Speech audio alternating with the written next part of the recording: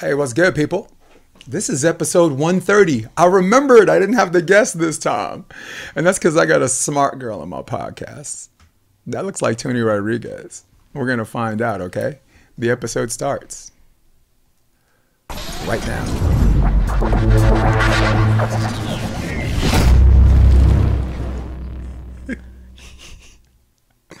Oh man, what the hell was that? That was really loud. what up, people? Toni Rodriguez in the house. How you doing? What's good, girl? Good. How are you? Sorry, I rephrased. I got to do this proper. I've got to give the people, give the people what they want. Dun, dun, dun, dun, dun, dun, dun, dun. Okay, now we're ready to dance. Yes, we're ready. so, Toni, you just came from practice. I did just come from practice. Um, a little uh, 9:30 to 11:30 with uh, Emily Stockman against uh, Terese and Sarah Sponcil. Okay, so, is that who Sarah's playing with, Terese? Yeah, good team. It's a good team, really good team. They have a lot of experience, and um, I think Terese really stepped up at the end of this past season and proved herself, worked hard, and now she gets to play with Sarah, and that's legit. So I'm happy for her. Yeah. Well, on my side, I got I'm, I got to highlight Kelly Reeves on that too, though. I mean, Kelly Reeves, since her and Ali McCulloch since 2016, she's done okay. And then next thing you know, like whoever she plays with is right. And you and me, we've been we've been traveling around AVP America, so it wasn't just the tour. So we we could, we have a bigger sample size that allows us to Yeah. to kind of do those things. So you do are you still playing with uh, Savvy? Yeah, right now we've been training a lot. We actually just played in the FCA uh, Challenger that Heather Friesen put on um, down in El Porto um, off Rosecrans, and um, it was a really good uh, like preseason tournament. Um, you know, we got to get some touches, kind of see where we're at, what we need to work on. Ended up uh, playing uh, Urango and Carly Scott in the finals, and um, it was a it was a good match. We won the first set, lost the second. We made a couple errors on our side. It also was windy. Welcome. Um, and uh, we pushed to a third, and um, we actually were down um, six ten. And Okay. Third set. yeah, third Yeah. set down six ten. That's usually a wrap. Yeah, yeah. usually- Usually like, okay, I'm just gonna roll over and just you know be done. But uh, we actually called a timeout, six ten, and um, we were like, okay, like we can do this. Let's let's get it done. Like we need to go on a serving run. It's kind of basically what we did. We Savvy was serving. She threw a couple short, got him out of system, and then we tied it back up 10-10 and then pushed to the end. So it was actually really exciting to feel the fight, right? Because Yeah. when you're in off season for so long, you kind of almost forget what competing's like, and to be able to kind of just push through that immediately, um, in the first tournament back of the season, not really first tournament, but first tournament hypothetically, you know. Okay. Yeah. Um, so I thought it was good. I mean, we played well. Um, I love playing with Savvy. I think we have good chemistry. I think we know we want to play with each other. Um, I think it's a matter of the AVP giving us just a little bit more info on what qualifiers are going to look like, or if there's going to be qualifiers for the for the pro events. Um, I've also been been training a little bit with Zana. Um, she's yeah. yeah, she's great too. Um, and then I'm I'm Emily Stockman's practice player on like Thursday, Fridays ish. So, um, And who's she playing with again? uh, I'm I'm not too sure. Me neither. Um, From what I my understanding is, um, she's playing with Lauren Fendrick um, for the first Okay. couple FIVBs, I believe, Yeah. and then um, playing with Meg Kraft after Nice. um, she gets out of college. So, um, but you know, everything can change. Right. I don't think anything is set in stone um, as much as we always want it to be. Uh, I Well, good partnerships. I think, are.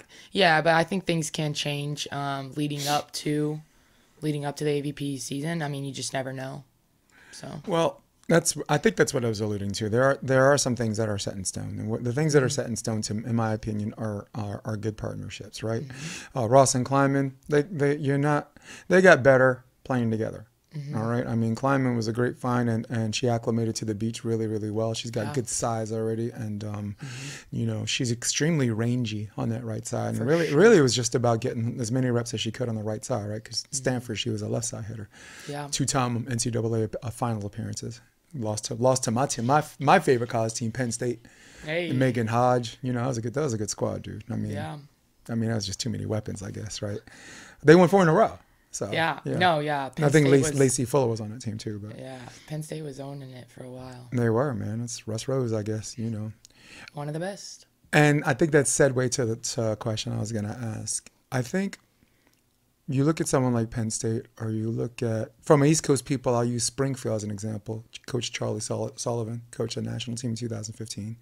Lacrosse player, never even played. He's just he's just a really good coach. Wow. Um, there's a healthy competition in practice where the environment set up like where the drills are set up like competitive. Yeah. How much does that come into the to play in your practices that help you um I don't know, get rid of ring rust or uh, or, or beach rust when you're when you're playing in scrimmages or actual tournaments? Yeah, I think sometimes it really is hard to kind of uh, create an environment that is competition based, right? Or like feels like competition, you know? Because, like, regardless of what other people say or what, what I think, I believe that, like, some people just aren't good practice players. Like, I, re- I genuinely believe that. You got people in your- Like- the club you're coaching that that, that, Yeah. that right or good examples. I mean, I think that I think everyone has that kind of um that switch, right? When you're in the actual competition to kind of turn it on. Right? So sometimes as the coach, it's hard to create those drills unless your players are really clicking into that zone because it's really hard, right, to get there because you're not actually competing against somebody else. You're competing against people on your team. So it's kind of like, ooh, usually for indoor, right? For for beach is a little different, right? You're always competing against someone else, but I think for me specifically, I think when I'm really trying to zone in on things I'm working on, sometimes I lose out on that what is the competition? What am I going to feel in the competition versus okay, I'm really focusing on my high lines today, right? So I'm not necessarily maybe I'm not necessarily like in my competition mode, like where I flip that switch, Right. but like I'm dialed into what I'm working on, so it's a little bit different. Okay. But I think it I think it depends on everyone, honestly. And you you stumbled onto something not stumbled on, but you you um, highlighted something very very interesting. Some people are just really good. They're good. They do really good things in practice, and there's certain people that do good, really good things in a game situation. And, Yeah. And there's, I guess, there's no real answer in a sense that you never really know until you actually get on the court and play, unless you can examine someone's psychological pattern. All right. They're, Yeah. they're, they suck now, but they're gonna be they're gonna be just fine tomorrow. You Yeah. know? Or you see someone taking some really good warm up hits, and it's like, oh my god, we're fucked. we're, we're screwed tomorrow, dude. we're, we're so we're so screwed. Why? She's, She looks good. I'm like, you don't understand. No. so um, I think it. I think kind of going off of that. I think it's all mentality. It all goes back to the mental, right? So you have people that are really good practice players, but not good at c- competing, uh-huh. right? Because mentally, they're not put on, you know, they're not put in that competitive environment. Yes, it's still competitive in practice, but you're not in front of a crowd. You're not playing against other people where it matters, uh-huh. right? And then there's people that are not good practice players, but they can really turn it on when it's co- competition time, Right. right? So I think it's all about mentality, and I think it's good to have a balance.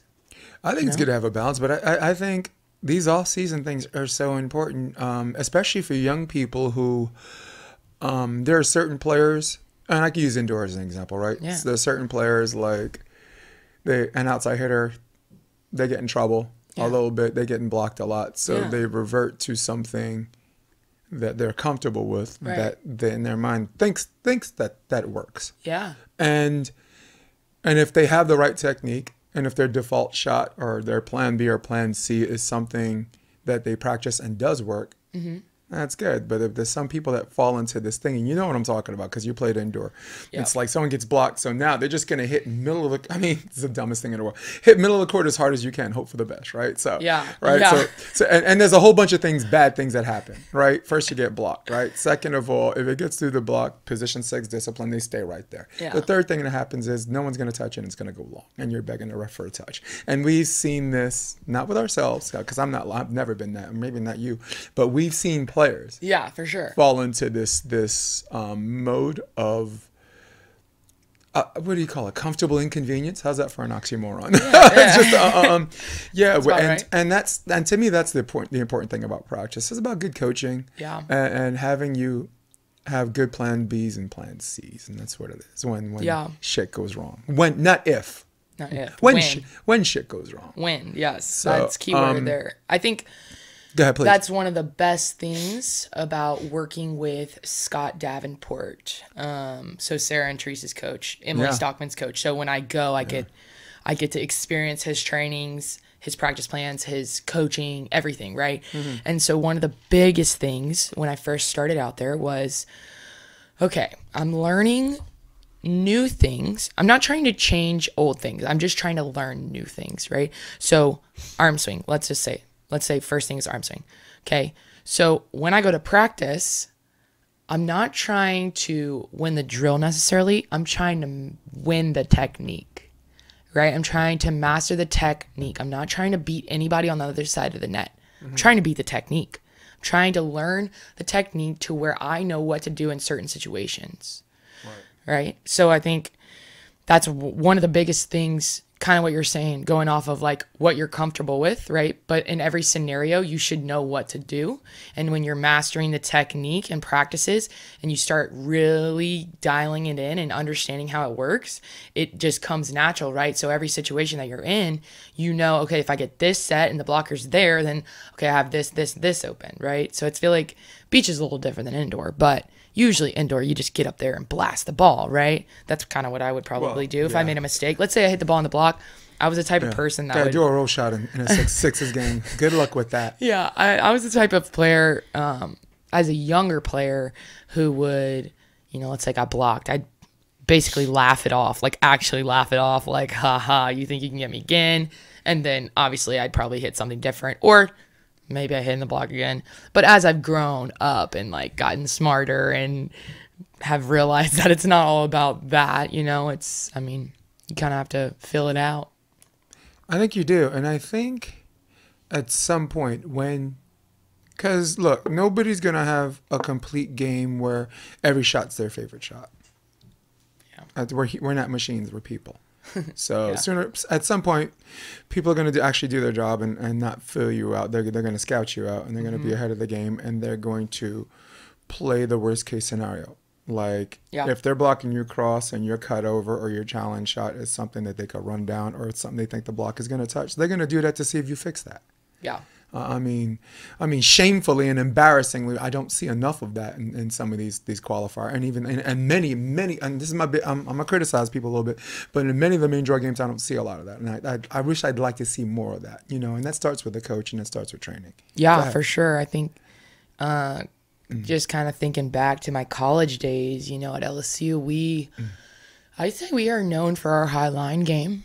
Like we, we, I've probably hit like, I don't even know an estimated number of high lines, but we would go to practice and just shoot high lines, like Right, in the yeah. five by 5 mm-hmm. Had little PVC pipe corners, put them down, and we shot high lines, boom, boom, boom, and mm-hmm. like repped it out. So I feel like definitely, I mean, I'm pretty comfortable hitting high lines, but I know for me, what I'm specifically working on is opening up that angle. You know, I hit on the left, so opening it up and really like testing people because people know I like to hit high lines. They, I already know that. People know that, so Yeah. I think expanding and your good game. teams probably figure that out be, be, be Yeah. by or before the technical timeout. Oh yeah, for sure. so- for sure. I mean, you can't sit there and hit the same shot over and over again. I mean, you can until mm-hmm. they adjust, but. Right. it's all about game plan and being able to switch and play. How much so is hard? How much does or did Russell Brock and um, Who's your, who's the blocking coach? Savage assistant at LSU. Tell me his name. Drew Hamilton. Drew Hamilton, yes. How much did the two of them? Because they roll like a pack. There's Yeah. some people. There's a head coach and there's everybody else. Those those two roll like a goddamn pair. Because I, I and I, and I God I love those guys. Um, they came out karaoke one night. Um, yeah, it was fun. Well, I mean, I was coaching uh, Club Beach for a little Yeah, while. Um, yeah. And and of course, you start to get to know everybody. Of course. I'll tell you a story where I, I lined them all up. Uh, um, all the coaches. I'll tell you that story later. But how much? My question is, so it's fresh in our head, and so I don't talk more than you and on you're my guest, um, because I do that shit all the time. I got people like, dude, shut the fuck It's up. It's okay. Even now, they're telling me you're doing We it again. love it. But um, how much did Brock and Hamilton come into that preparation where you start tackling teams like that from the get go? This is an important question um, because I think volleyball is more excited when someone who's interested in watching a sport see people go after it from play one instead of this feeling out process. Okay, I know what you're doing. You're doing by the time the technical timeout comes, and by the time the technical timeout comes, the person watching it's not watching anymore. Okay, Yeah. and those are the people we're trying to attract. I mean, uh, players, people who play the game, they're like, all right, uh, what next game? I don't want to see that shit. You know, it's, I've seen this. They, they played each other eight times and they're doing the same shit. So how much, uh, if I'm shape, I'm taking a long time to shape this question. How much does did they come into play as far as you guys preparing teams, um, g- game plan from square one and then whatever plan B, plan C adjustments. The sh- the floor is yours. Yeah, I I believe our coaches prepared us very well just in the volleyball aspect first off, just like you know, we really trained passing hardcore, so we were always fighting to be in system, right? So like it didn't necessarily really matter what other people did as long as we were in system and we were siding out. Mm-hmm. We felt we we were going to be successful, right? Yeah. But then as you work up to those higher level teams, right, there becomes a game plan, right? So, yes, you can be in system, we can side out every ball, we can work in transition for those lower to mid range teams, but as soon as you cross that line between the mid to the high, there becomes like that prep prep work, right? Where where Yeah. you create the game plan, where you talk to your coaches. And I believe they did a, a pretty good job. Like I think like we watched film before games a lot of us took it upon ourselves like player wise like i think a lot of us would watch film on other people we had people like um, kristen nuss she would watch every person's film lsu like Yeah. she'd watch every person's film Yeah. lsu we would sit down we'd watch other people's film as well and then i think going into games we weren't always focused on those higher teams, like what they were gonna do, but we knew if we just were in, you know, in system doing what we needed to do, right? It didn't necessarily matter. I think game planning wise, um, I worked mostly with Katie Leak, um, Yeah. so assistant coach at LSU right now, and um, we actually played indoor together. So we played two years at LSU on the indoor team, and um, it was really fun getting to work with her, right? Because for me, I I want to coach post professional. Like I've been coaching club volleyball, club volleyball, doing lessons, like all of this stuff. Like I know that that's where I'm supposed to be. Like I want to be coaching, and so for me, it was always fun to meet up with her and then talk through things, right? Because we both would put coaching coaching brain together, not necessarily player coach. Um, so I think game planning, it was super great to kind of sit down, maybe like after um, you know, after the team had warmed up, right? We watched the whole warm up, we watched what they did, and then we kind of sat down and said, okay, look, this is what this girl did in the warm ups. We already know this from the film. Let's let's dial it in here. Let's do this. Let's do that.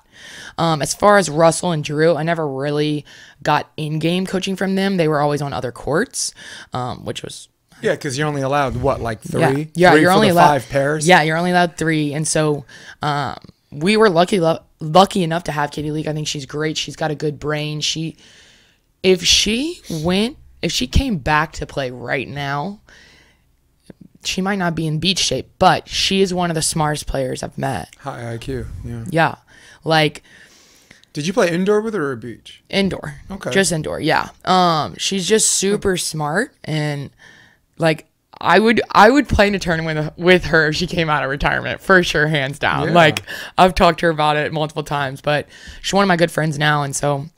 But this is kind of I'm going down a rabbit hole now, but but yeah, I mean I think that they did a did a good job preparing us for playing those big teams and like you said, game plan is the most important thing, honestly.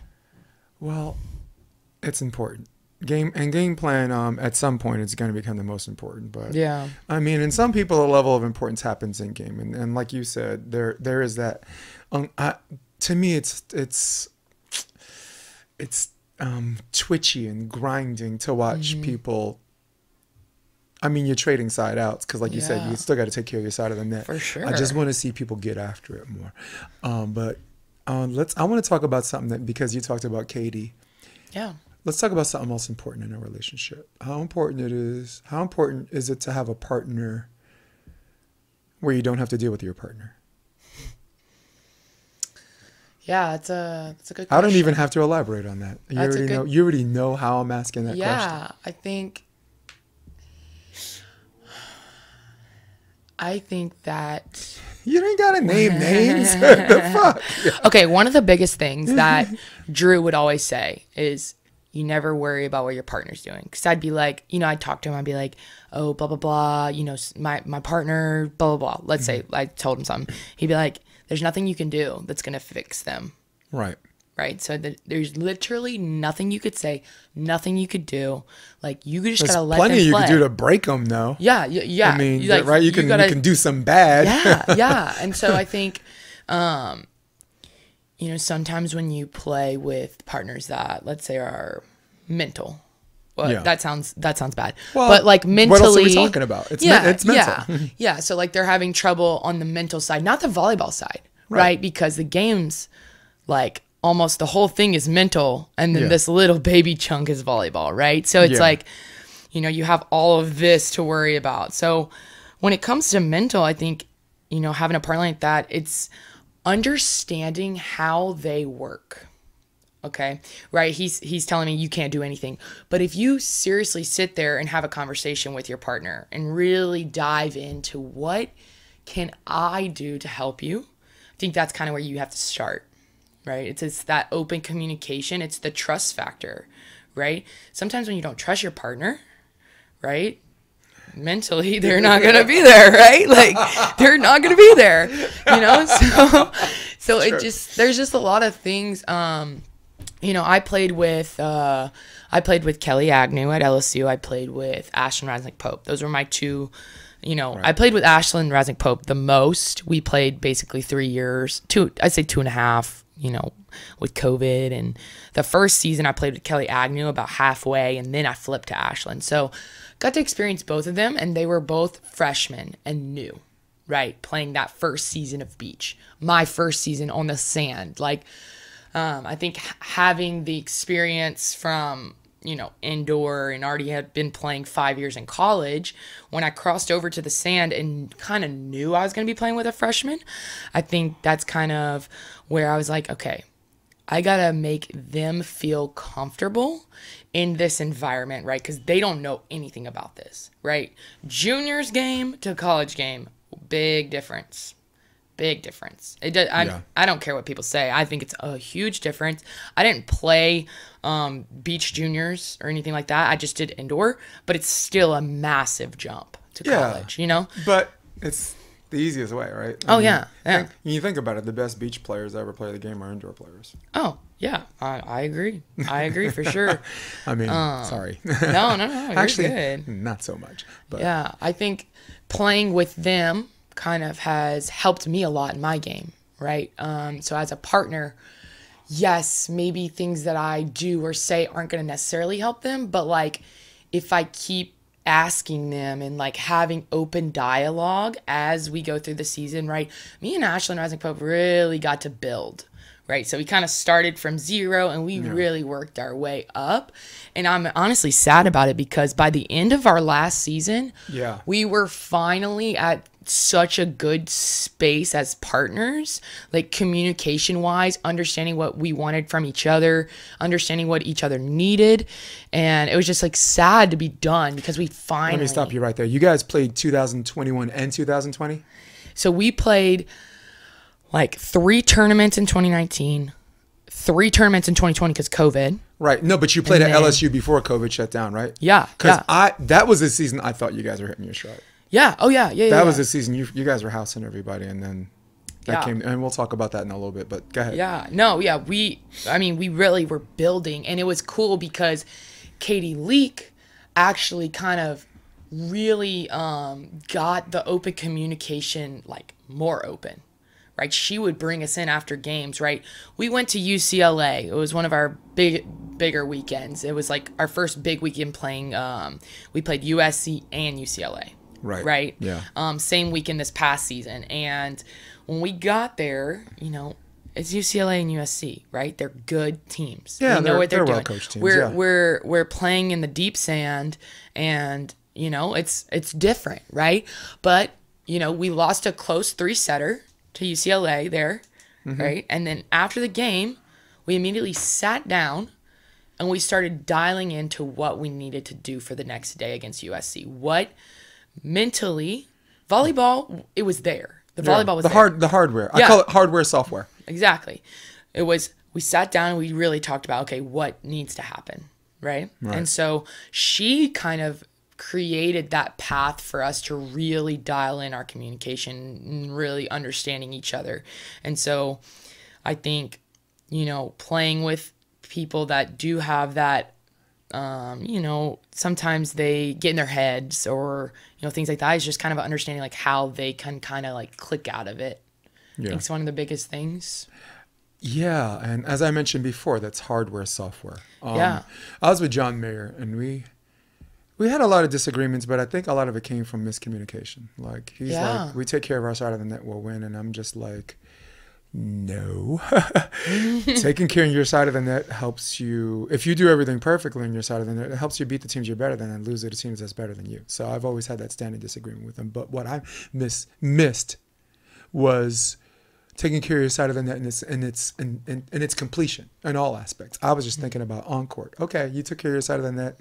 Good for you. You know, congratulations. You're you're you're thirty and you're Yeah. thirty and what? You're you're twenty four and six and. All, all six of your losses were the teams that were better than you. Yeah. I mean, that's that's put that puts you in a position where you're supposed to be. So I've always objected to that because Yeah. because mm, I've always predicated my well my um reputation was always find a way to do more with less and beat teams that are better than me. So that's just been so I've, I my opinion came from Greece it came from the shaping of how I am as a coach. But what I was missing was John was talking about everything. John was like the other team can't um, take away your time in the weight room, right? Yeah. The other team can't take away your time videotaping. The other Yep. team can't take away how in shape you come on, if- t- coming into a season. The other team can't take away your, your general nutrition. Your, The other team can't take away the constant repetitions where something feels comfortable, where that's now your default shot. You're doing Yeah. shit right. Your, your, your default shot's right, you know? And I was like, okay, I get that. I Yeah. And and he's like, and I get you too, because it's something because he looks at it from such a wide range. He appreciated mine. Yeah. Because I'm a cold motherfucker. All right. to me, you can train. You can do all these good things. You can have great coaching and you can deserve to be there. But just because you deserve to be there doesn't mean they're gonna give it to you. Yeah, all right. no. At the end of the day, where's my camera? I don't mean to sound cold, but either you win or you do not. I'm a Bill Parcells guy. You are what your fucking record says you are. All right, at the end of the day, and and you accept that to a level. How how much is up to you if you want that to f with your head. But it is. But that doesn't change the, that that um historical fact. Yeah. Historical fact on paper. Boom. You won or you did not. There are no fucking moral moral victories in a record book. Yep. So he appreciated that aspect. Am I doing it? And it- but is it working? And Yeah. then from 2018 to 2019 to 2020, you look at the, their record, right? They were like 6 and 13, and the 22 and 14, and the 21 and 9, finally won the WCCs. And then 21, right? They, they actually at- beat you guys. Beat, and, beat us. and UCLA. People Oh no, forget they this- beat us at uh, nationals. And UCLA the same day. They, they played both you guys the same day. And they, they got Oh yeah, yeah, yeah. and they got a spot to the semis, lost to USC, and then UCLA crept, crept up and got in the end. But but people forget that they didn't just beat a, a very very very good LSU team. You guys were ranked number six or, or something like that. Something so, like that. Yeah. but um, UCLA I think was one or two. So Yeah. and it's not like he's recruiting all these fucking savages. He became John was always a good coach, but John was never a do more with less coach. John always had oh, uh, when he was coaching Santa Monica College, uh, he's always had good players that that, Yeah. that eventually became his acolytes and and whatever. Yeah. Um, but that was one of the handful of times I've seen him do more with less on an exponential level. And I'm not trying to pat myself on the back because there's take what the one or two things he learned from me, multiply that shit by six. That's what I learned from him. Because I had Yeah. I had to learn that about beach. I had to learn that about women's volleyball. I was a men's coach my entire life. You Yeah. have to It's you have to understand the fucking It's di- importance, dude. You have to different. and this is Scott Davenport too. Da- Scott Davenport. It took him a long time to understand the, the intricacies of, of sisterhood and not Yeah. not not uh, saying anything that's going to make a female player look um, like an outcast to her team, where they start treating her like that because they see Yeah. you treating her like that. Yeah. The men, we don't care. Get your ass online. Uh, all right, coach. You know, because men, it's usually inspired by leadership. That someone, uh, Yeah. they they, some people take charge on the court and everyone follows their lead. You Yeah. know, and Scott Scott still coaches girls like dudes. Uh, uh, Oh, yeah, I- I believe but, so. But um, I believe so. and I'm optimistic, if not hopeful, that he's. I, I've- I haven't spoken to him, and we're not like fishing buddies. And he, I know more about him than he knows about me. But I really hope he turned the corner on that. Uh, and I'm sure he has. He's been doing this way too long. Yeah, I, I you mean, know. And I mean, he's a long time player, but I Yeah. don't. I don't put a whole bunch of weight on people who were playing a long time. That automatically entitles them to think they're a good coach. Yeah. I don't. I don't play Yeah. that. I don't play that shit. No, I You agree. know? I agree. I think, like you said, the girls' game is completely different than the guys' game, and it kind of shows. I mean, when I think about the guys' game, all I think about is just like bombing balls, like just like hit the ball as hard as you can, and you're gonna score. Like that's what I think about the boys' game, and like I haven't obviously dove into the boys' game at all, but No. like that's just what I think about. But and- under Scott, you training like a dude. yeah, I mean he I mean, yeah, I think but I think that that's good for people that want to play at the top level, right? Yeah. There there comes a point where like you have to be mentally tough. Mm-hmm. And like when your coach is pushing you, like you just got to do it. Like there's a you decide, right? Mm-hmm. You make the decision on if you want to if you want to like how you want to receive the message Yes. right you no one can make you feel a way that like nobody makes you feel a certain way and if you think about it like that then that's how you should go about it and you should you should take what he's saying not the way he's saying not how he's saying it just what is he saying and really like analyze what he's saying you know i feel like having drew i, I, believe drew's one of the toughest coaches i've had fran flory indoor coach at lsu i think Yeah. she's a really tough coach like I believe that usually what they're saying is good stuff. It's just sometimes the way it comes off, right? It's it's it's like ah Why are you gonna say it like that? yeah yeah like why couldn't you just say like you know like sweetly you know but but Yeah. You know at the end of said sweetly. at the end of the day oh think- my god, they're gonna sing you a lullaby before No, you no, go no, back no. to the dorms, no girl. I I believe that being coached by both of them is one of the biggest reasons why I like I am like a mentally tough player and you know obviously you know about all my injuries and everything like mental toughness I think is like the biggest thing that requires you to play at the highest level Well, two things because we're gonna get into that. Uh, um, we just we are. Uh, you're God. You you know how to drive this car, dude. Thank. I'm so glad I have you with me because the reason why this podcast has success is because of people like you that that need to take the steering wheel when I start talking shit. Um, but I want to finish with Scott, and Yeah. we're, we're gonna get Yeah. into your physical injury that and your mental toughness or whatever. sure. Because this is, it's a story to tell because it's gonna inspire someone where they think all hope is fucking lost. So um, Yeah. allow yourself the indulgence to talk about yourself as we approach that topic next. Um, but with Scott, Scott's challenge, and this is where I challenge him, and this is where I don't really know a whole lot about him. And he, and again, people can write to me, email me, Scott. You can call me and correct me on this.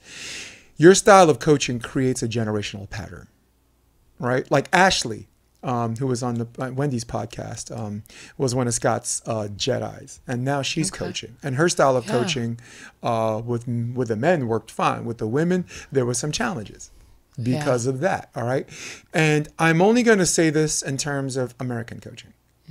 All right, the Europeans, they do what the fuck they want when they want, and if you don't like it, t- tough shit, you know. And those girls grow up. You think you have, you think you have it tough. Trying to try, try um, being in the German system. Jürgen Wagner seems like a nice guy to everybody else. That's a cold motherfucker. All right. Um, uh, Qatar, coaches are pretty chill or whatever, but there's uh, Serbia, Montenegro, Russia.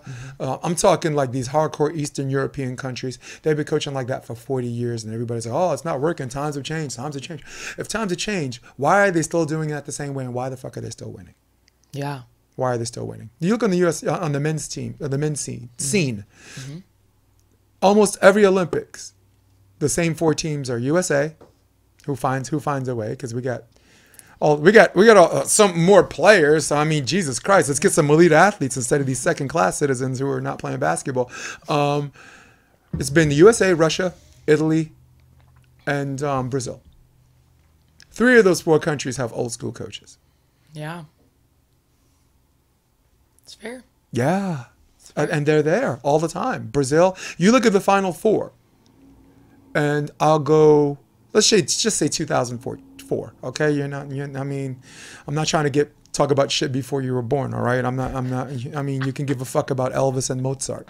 Um, right. Or the Red Sea. Right. I was on the other side fishing, girl. Moses part of that shit. Um, so I'm not. So I'll dismiss that. But I wanted to finish by saying that Scott, um, his big because he's high level, he has he's taking more challenges at, at that level that a lot of people don't have to deal with because he already knows the X's and O's, and he knows a lot about. He's understanding software and hardware and all Yeah. that. And my challenge to him is know who you are because they people are going to try to coach the way you coach when they're done playing, and they have to fucking understand that too Yeah. and that was a big challenge. I, I wish I had her last name, Ashley Clark. Ashley Clark, savage, savage club coach. Coach Yeah. Wendy's Wendy's kids, Luke Turner, you know who's at Stanford, um, Yeah. the daughter who's at uh, Yeah. TCU, um, so uh, with for Hector playing for Hector. Yeah. Yeah. Yeah. So you had an injury. how, how about that? You had an injury. And we're off. you had an you had an injury. I think it was your senior year of high school. Yes. And you told this story on the Optimist Journal, and I had the pleasure of, of teching that show, the honor, duty, and privilege of teching that show, because watching you two go back and forth was, was awesome. It was fun. You got hurt, and you, I think you were supposed to go to Michigan State, Tennessee. Tennessee, Yep. Close though. and they were like, you know what, this chick is hurt. The hell with that. We ain't giving her no ride. Yeah. Right. Basically. Yeah. Take me to that point in your journey. Ta- let's talk about the injury first, Yeah. For sure. and then take me to Tennessee, and then how it led to LSU. Yeah. Um. So. I'm gonna sit back and have a drink for this one. All right, yeah, do it. Um, so uh, we were definitely favored to win a state championship my senior year of high school. Um, we were about three games into the season, playing the reigning state champs, um, Mount Carmel, um, and got set a ball, hit it when I came down. Um, you know, I was getting ready for to block, right? I blocked, and then when I went to transition off the net, um, basically foot planted, knee went, and Which foot? Um, my Sorry, which foot? no, you're good, you're good. Um, my left, and then when I turned to go, my foot just stayed in my. You know, when you plant and then you twist, right? Okay. It's basically what happened. Like it wasn't contact. It was it was nothing. It was literally just me planted and just turned and my foot just didn't go with my body. Um, you know, immediately to the ground in pain. Obviously, I'm screaming, which is kind of funny to me because I've talked to a lot of people about tearing ACLs, and a lot of them are like, "Yeah, I tore it," but then I was like, got up and like walked around, and I was like, no, like I was like on the ground, like probably you know being dramatic a little bit, but like that is not, you know, that's some pain. Like the when you tear your like it does not feel good, obviously. So I was on the ground, you know, took me to the training room. I've never had a big injury, so I think kind of like the pain I was feeling, I was kind of like, oh shit, like what's gonna happen? I don't know. Um, so basically got an MRI like a week later and ended up being a torn ACL, had some meniscus stuff going on. So, you know, as uh, I think I was 17 at that point, you know, finding out that I had a season ending injury, it's very, um, you know, that's not the easiest thing in the world for a 17 year old to go through, especially as somebody that's still like learning about yourself, right? Like I didn't know who I was as a person. I didn't know, you know, all I knew about myself was like I play sports. I'm athletic. I this is what I'm doing, right? I mean, the whole time you're probably just thinking how long. Yeah, yeah, basically like you know, once I got the MRI, I was like, okay, like when's the surgery? Like, you know what I mean? And so, you know, it was sad. I was sad for a while. Um and then so got the MRI and about a week later, my parents got the phone call from Tennessee, uh, basically saying, "Hey, we we pulled your daughter's scholarship." Yeah, what we're gonna do with a broke car? Yeah, A car that didn't have two wheels. basically they needed me, when I got there, they needed me to play. Like that was basically what it was. Ah. So that's that, no, that makes complete sense. Yeah, like they needed they an needed someone outside that- ready. yeah.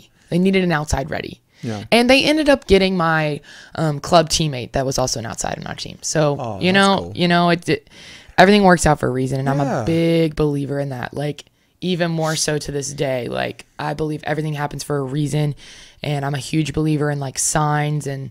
You know, full circle now, like she got an opportunity to go and play for that school, and like that was awesome for her, you know? So it's at the end of the day, my experience at LSU was amazing, and I would I wouldn't have it any other way. So overall, you know, I'm not happy I tore my ACL, but like, you know, LSU was great. Um, so yeah, I think when my parents told me about that, though, I think that on top of the season-ending injury was more of like that was probably the toughest part.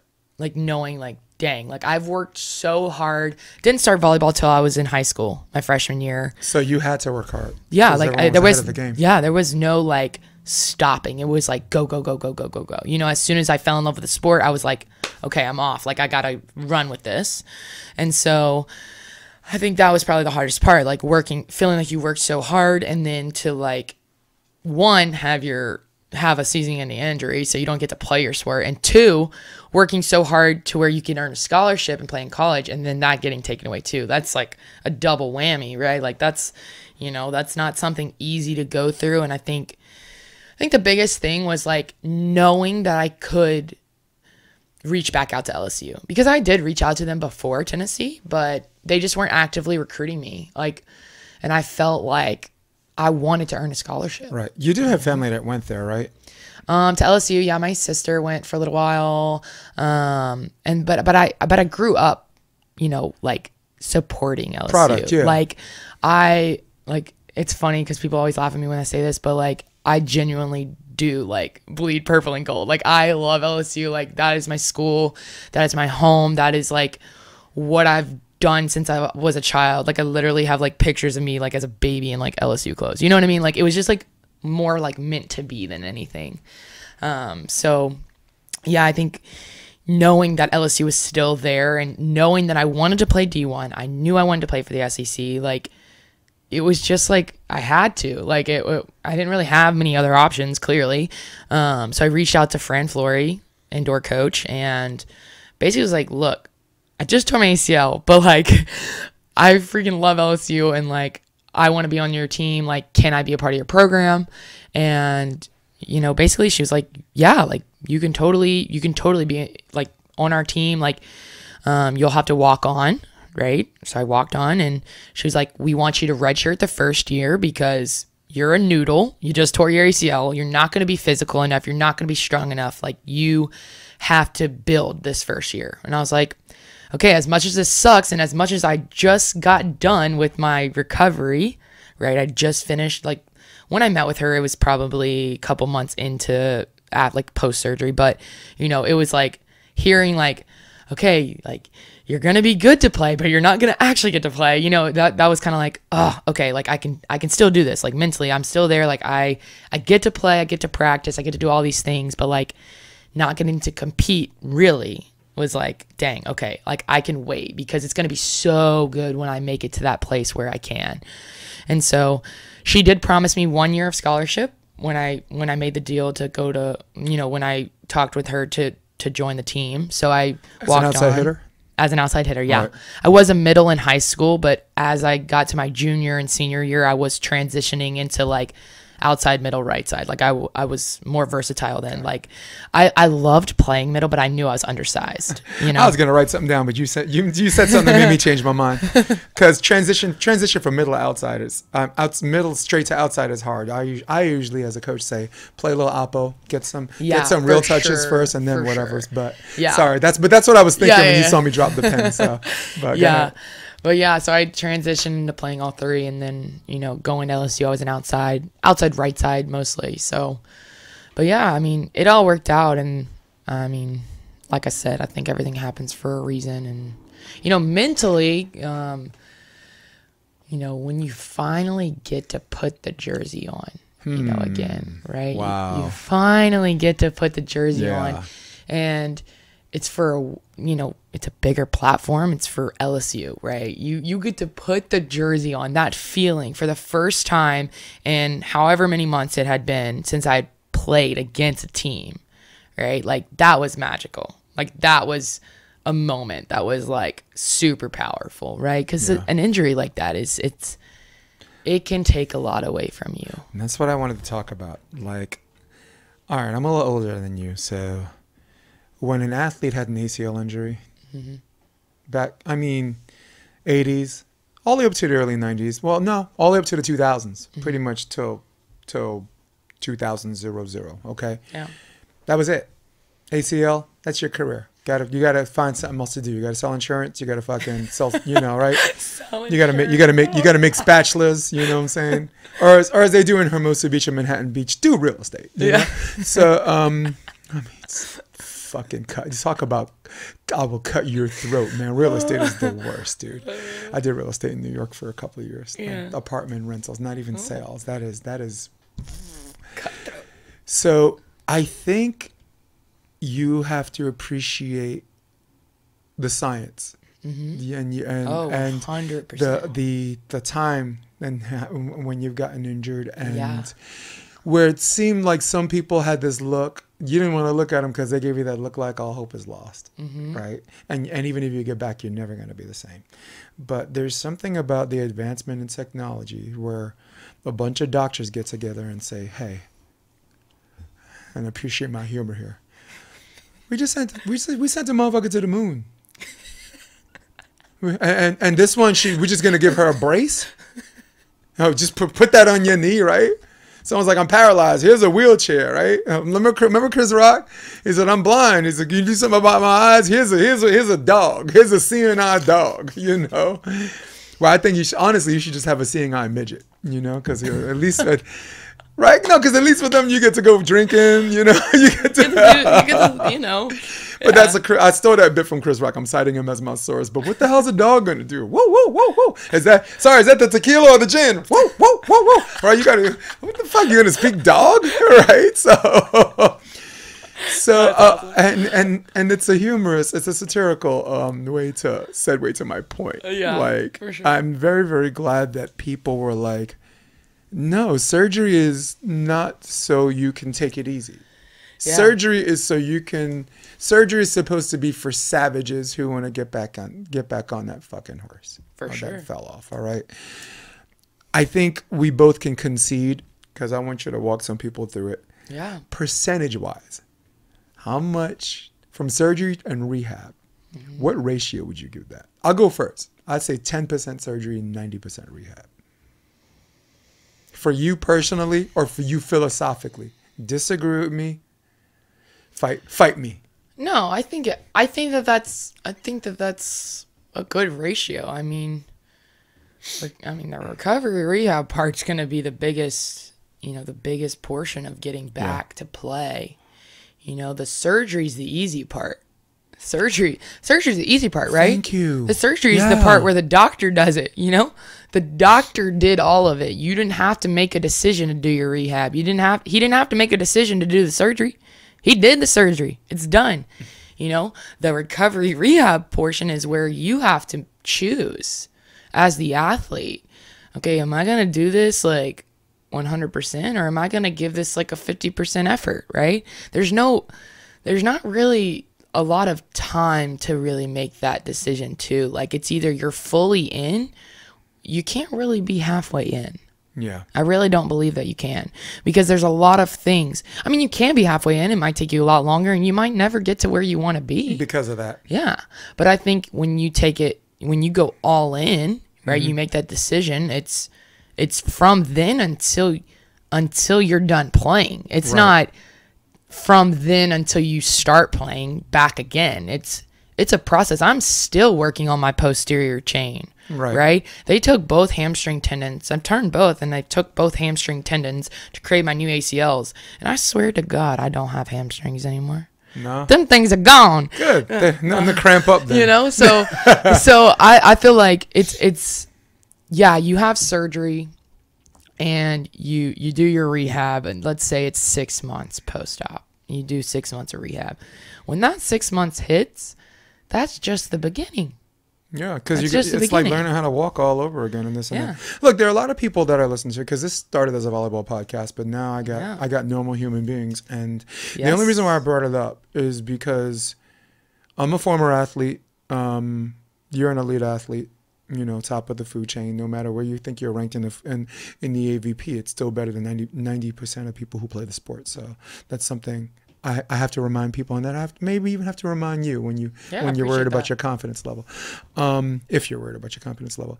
I I only brought it up because there are friends of mine that are non-volleyball players or just non-athletes Mm-hmm. that it's like, oh, my friend had surgery on his knee. His his surgery sucked, Yeah. Right? And and there's a level of thinking out there about, oh, I need a good surgeon to make sure my surgery is right. And I'm like, and I think what a lot of people are missing who don't, uh, and this is for people, uh, and I'm, I don't mean to speak from up here like athletes are better and smarter than you guys. I'm not trying to say that. I swear to God Yeah. but there are people who don't um, use their body to do these these savage things Yeah. that tr- trying to find a surgeon they can trust. Yeah. When the person I think you should really find to trust is It's you. say it with me. It's you. you. Yes, and your physical therapist. Yeah, for sure. Find someone you trust. Like like tell yourself, all right, I'm gonna do some research, but I really don't know a lot about this. I need someone to tell me what I need to do to get back, and he needs to be right. Yeah. Who is it? You Yeah. know, so so that 100%. so that I that, that's that's the reason why I said 90-10. Yeah. Because the surgery don't mean shit. Well, I'm gonna be honest with you. Go ahead. As a 17 year old, do you ever think that I thought, hmm, I wonder who my surgeon is? Yeah. No. Do I wonder if this guy?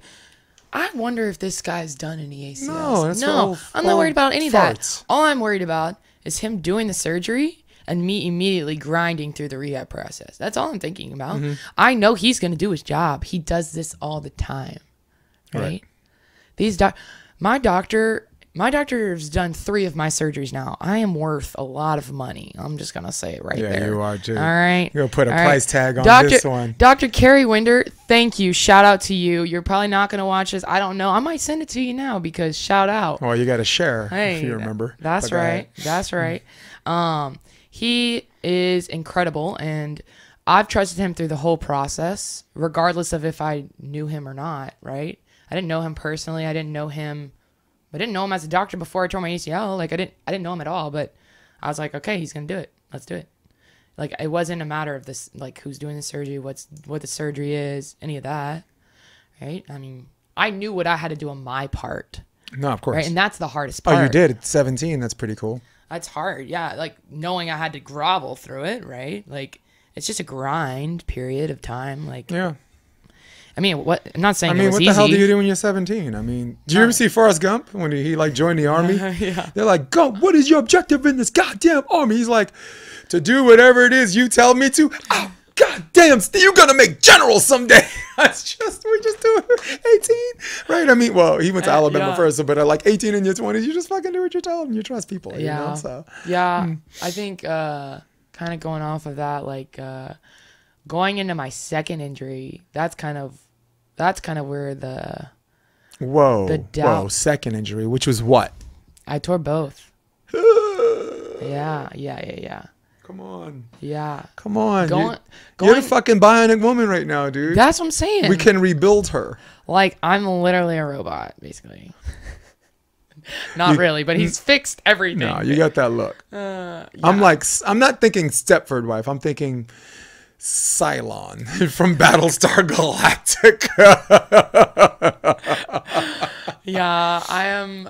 Yeah, basically bionic. But yeah, I think uh, going into my uh, second injury, so that first one was in 2013, right? I graduated high school in 2014, walked on to LSU, redshirted that first year, and then got to start competing in 2015 that fall. And I actually got a grand opportunity and it was just super awesome to to get to step out there right talking about putting on that jersey and finally getting to play and getting to represent LSU a school that I've loved my whole entire life like it was really awesome and we made it about halfway through that season and our team just started dropping like flies No. I'm not joking. I'm not joking. Like flies.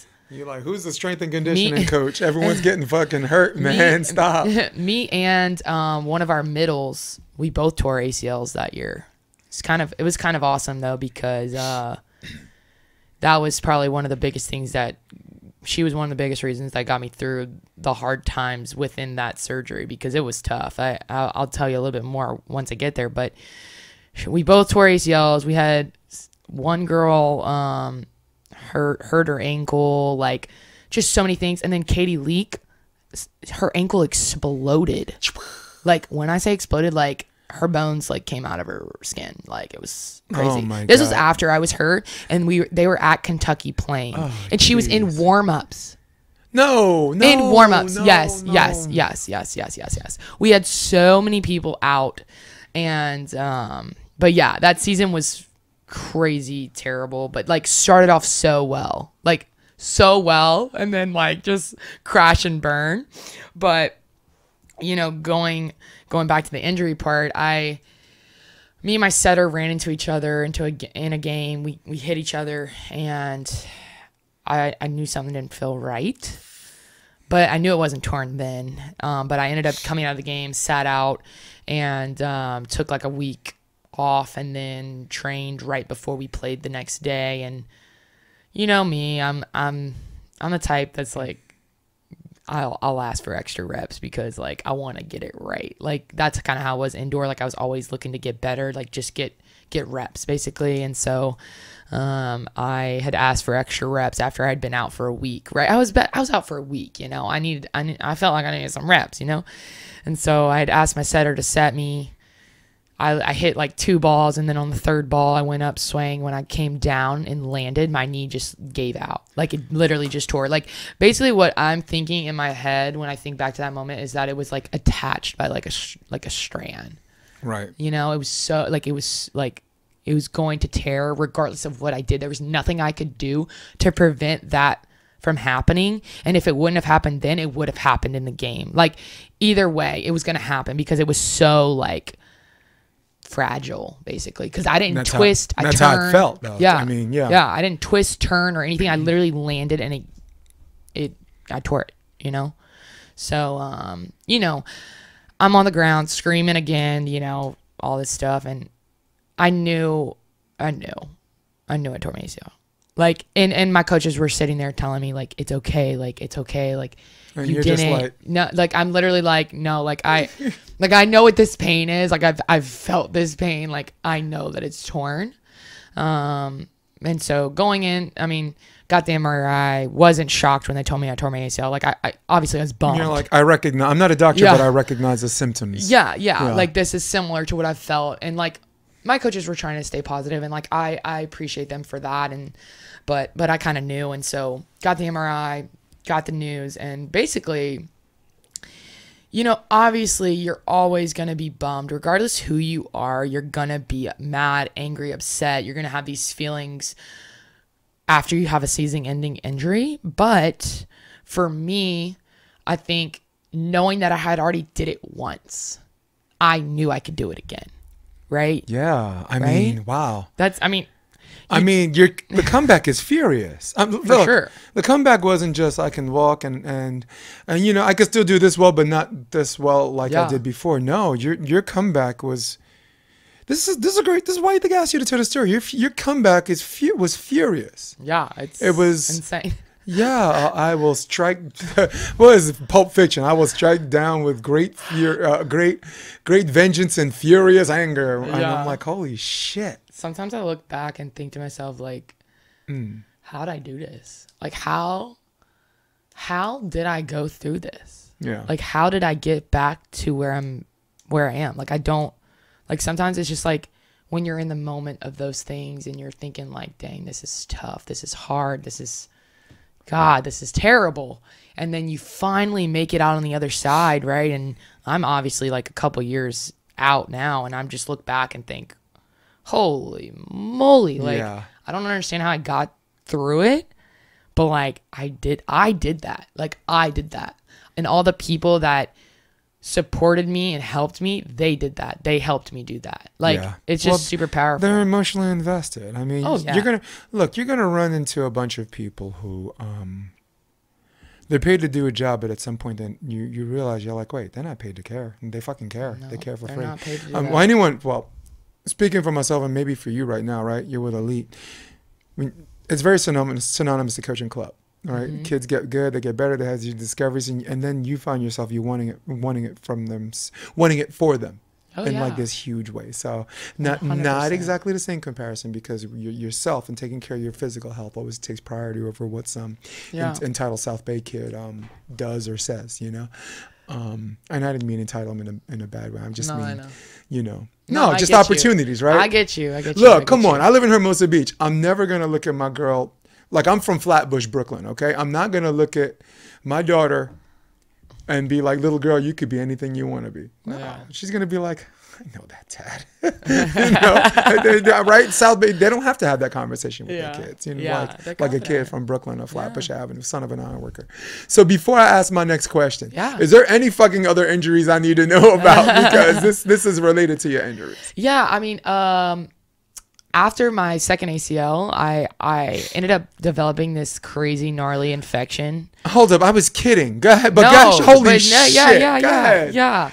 Got this infection Wow. at uh, Thanksgiving. Uh, I had like my surgery like the week before Thanksgiving, and um, then I developed the infection. Went to the hospital for a week.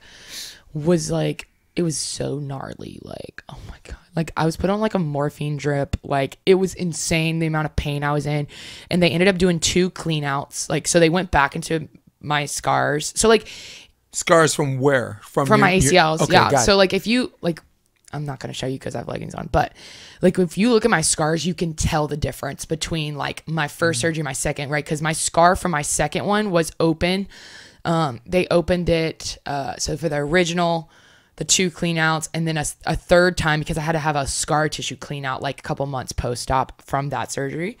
But anyways, was in the hospital, did the clean outs, got a PICC line. You know what that is? yeah, I do. That's tell everybody what it is. gnarly. Tell everybody. what- That was the biggest needle I've ever seen in my life. when you saw it. Your eyes were like, I was like, I'm scared. um, yeah, so basically they put that sucker right here, right? So they stick that needle in through one of your veins and they run this little baby tube all the way to your heart. And you administer antibiotics um, so it gets to your heart faster. Yeah, so my mom and my dad, thank you, kudos to you guys, for administering six weeks of antibiotics post hospital. That was tough. Oh um, yeah. Also, my leg was in this like, my leg was in this uh, mobilizer, so basically you can't move your leg. One of the most important things after surgery is to move your leg. Okay, as much as as, as much, as, you, can, as much as you can. It's not you. You know, when they say you could start rehab, you need to start. Yes. Like you need to start moving that thing immediately because the scar tissue buildup is real. It is. It's uh, yeah. And I had so much scar tissue. My leg was also a noodle. Literally, I lost all of my quad muscle, right? Because you do pre rehab, right? You do the rehab before your surgery to get your your muscles like To know what they're supposed to feel like, Yeah, yeah. and you you want to like get them all strong and stuff before you go into surgery because when you come out of surgery, you lose muscle. Every time you you're opened, right, to do a surgery, you lose muscle. I was I was opened four times, right? So my leg was the size of my calf. I'm not even gonna lie to you. It was small. I was like, oh my god. And you're like, I'm gonna be in a fucking wheelchair. I'm not gonna be okay. Um, but yeah, so you're like, that's my arm. That looks like my arm, dude. basically. Um, but yeah, so that was probably one of my tougher like seasons of life going through that. Um, I was set back probably two to three months re- in rehab.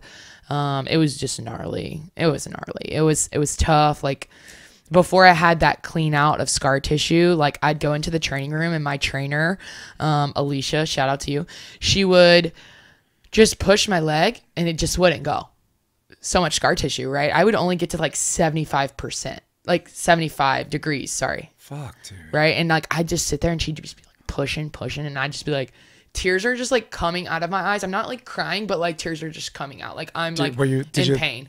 Were you were you looking at it or did you have to look away? Uh, yeah, eyes. I had my eyes closed most of the time, trying not to look because it was just so Just gnarly. don't look. it's So gnarly. makes everything twitch up. yeah, yeah, yeah. Like what you told, said before about sticking that thing in your arm all the way up to whatever. I'm like, I'm not gonna look at that needle. People want to give, dude. People want to give me shots, and people want to do my blood test, and they're like, "All right, I'm gonna stick you right in the." I'm like, you don't have to tell me. I'm, I'm looking, dude. I'm looking this way.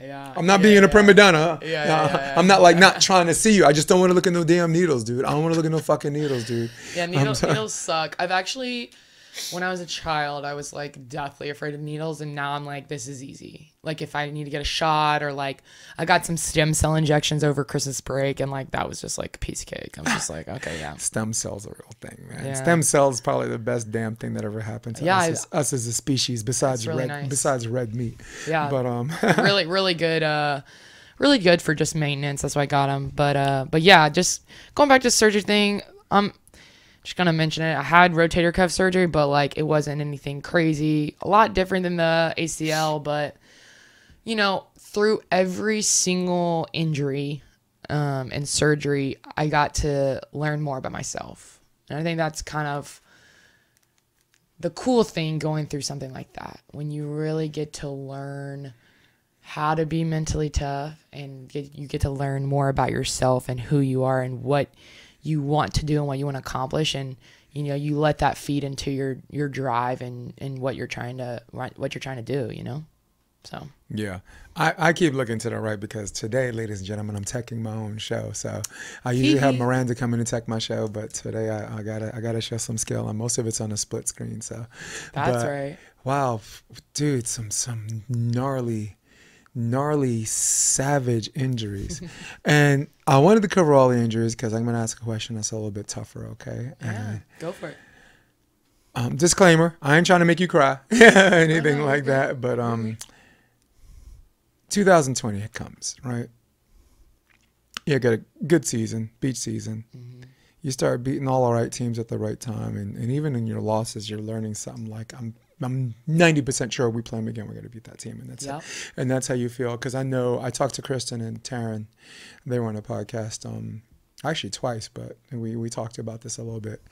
So all of a sudden, I have two questions. okay Some point you get a call, or your coach makes this annou- announcement: your season's over, your season's finished. My first question is, where were you? Who were you playing, or um, when you found out that 2020 was was was was done with for you? Um, I was at Winn Dixie actually.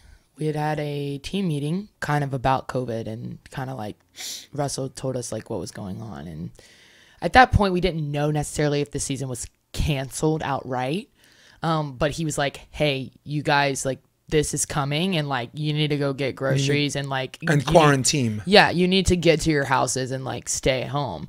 And so we went to Winn Dixie. I was with um I believe I was with Jess Landsman, Okay. Taryn Kloth, and uh can't remember if Kristen was there or not, but I, I just remember going to is grocery store. little. She don't serve no purpose bringing back a bunch of groceries. You need big girls, man. Tell that girl to long arms, long arms, yeah. Yeah. Um, but yeah, so we were at Winn Dixie and basically Mm-hmm. get a call um, that this Mm-hmm. this season has been canceled, and I, I believe I was with Taryn and Jess would, drove by herself, and so we get the call and we literally all three like met up in the middle of the parking lot and would just was just crying and hugging each other and just pure pure sadness. Like I, I don't even know how to describe it. Just like the feeling of defeat to work so hard um, for something and to finally like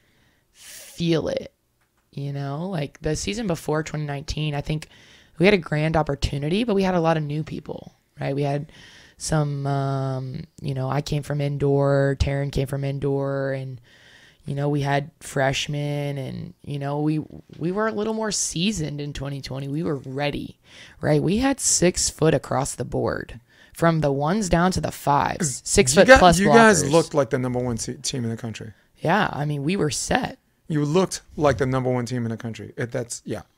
Yeah, so I ask that because I think for a lot of people that don't play a sport at a high level, or even play a sport at a level that, that they know requires physical and mental preparation, mm-hmm. right? Like you don't have to be a top five college team to appreciate the hard work, yeah. or, or Division three, or Division two, or Division one team to appreciate all the bells and whistles that have nothing to do with volleyball. Never mind that, right? But all the physical and mental preparation just to get to your first game of the season. The recruiting, working on how you're going to go to college, work, working on how to balance to balance your study time and video video room time, which is almost equal in some places. That's all you do. I mean, you don't you, mm-hmm. right? You they won't let you have a job, and the reason why I bring that up is because I really got angry at some people. It's like, oh, this is a pandemic, and these people are crying because they can't play volleyball, and I'm like, screw you, dude. Screw you. If you've, you know, and this is why athletes are sensitive. Yeah. This is why it's uh, look, volleyball players, they as far as sensitive cats are concerned, they're second only to NBA players. Okay? Yeah. They screw you. What have you done your whole life? You know, and this and that. Like I've, I've done this. You've never been top five anything and this and that. And these these these de- the defensive mechanisms where they're insulting people that they don't know because the people that are insulting them they don't know them, right? Yeah. There's a uh, I'm defending those people who um not not the people who are teasing you for Yeah. crying about a season. I'm defending people like, well, people like you, but not maybe you. People Yeah, like yeah. you that say, hey, why don't you f- be in my shoes? Yeah. Do, do something for years and years and years, right? Hundreds of thousands of people want this opportunity. I, I get it. I get this opportunity. I'm here.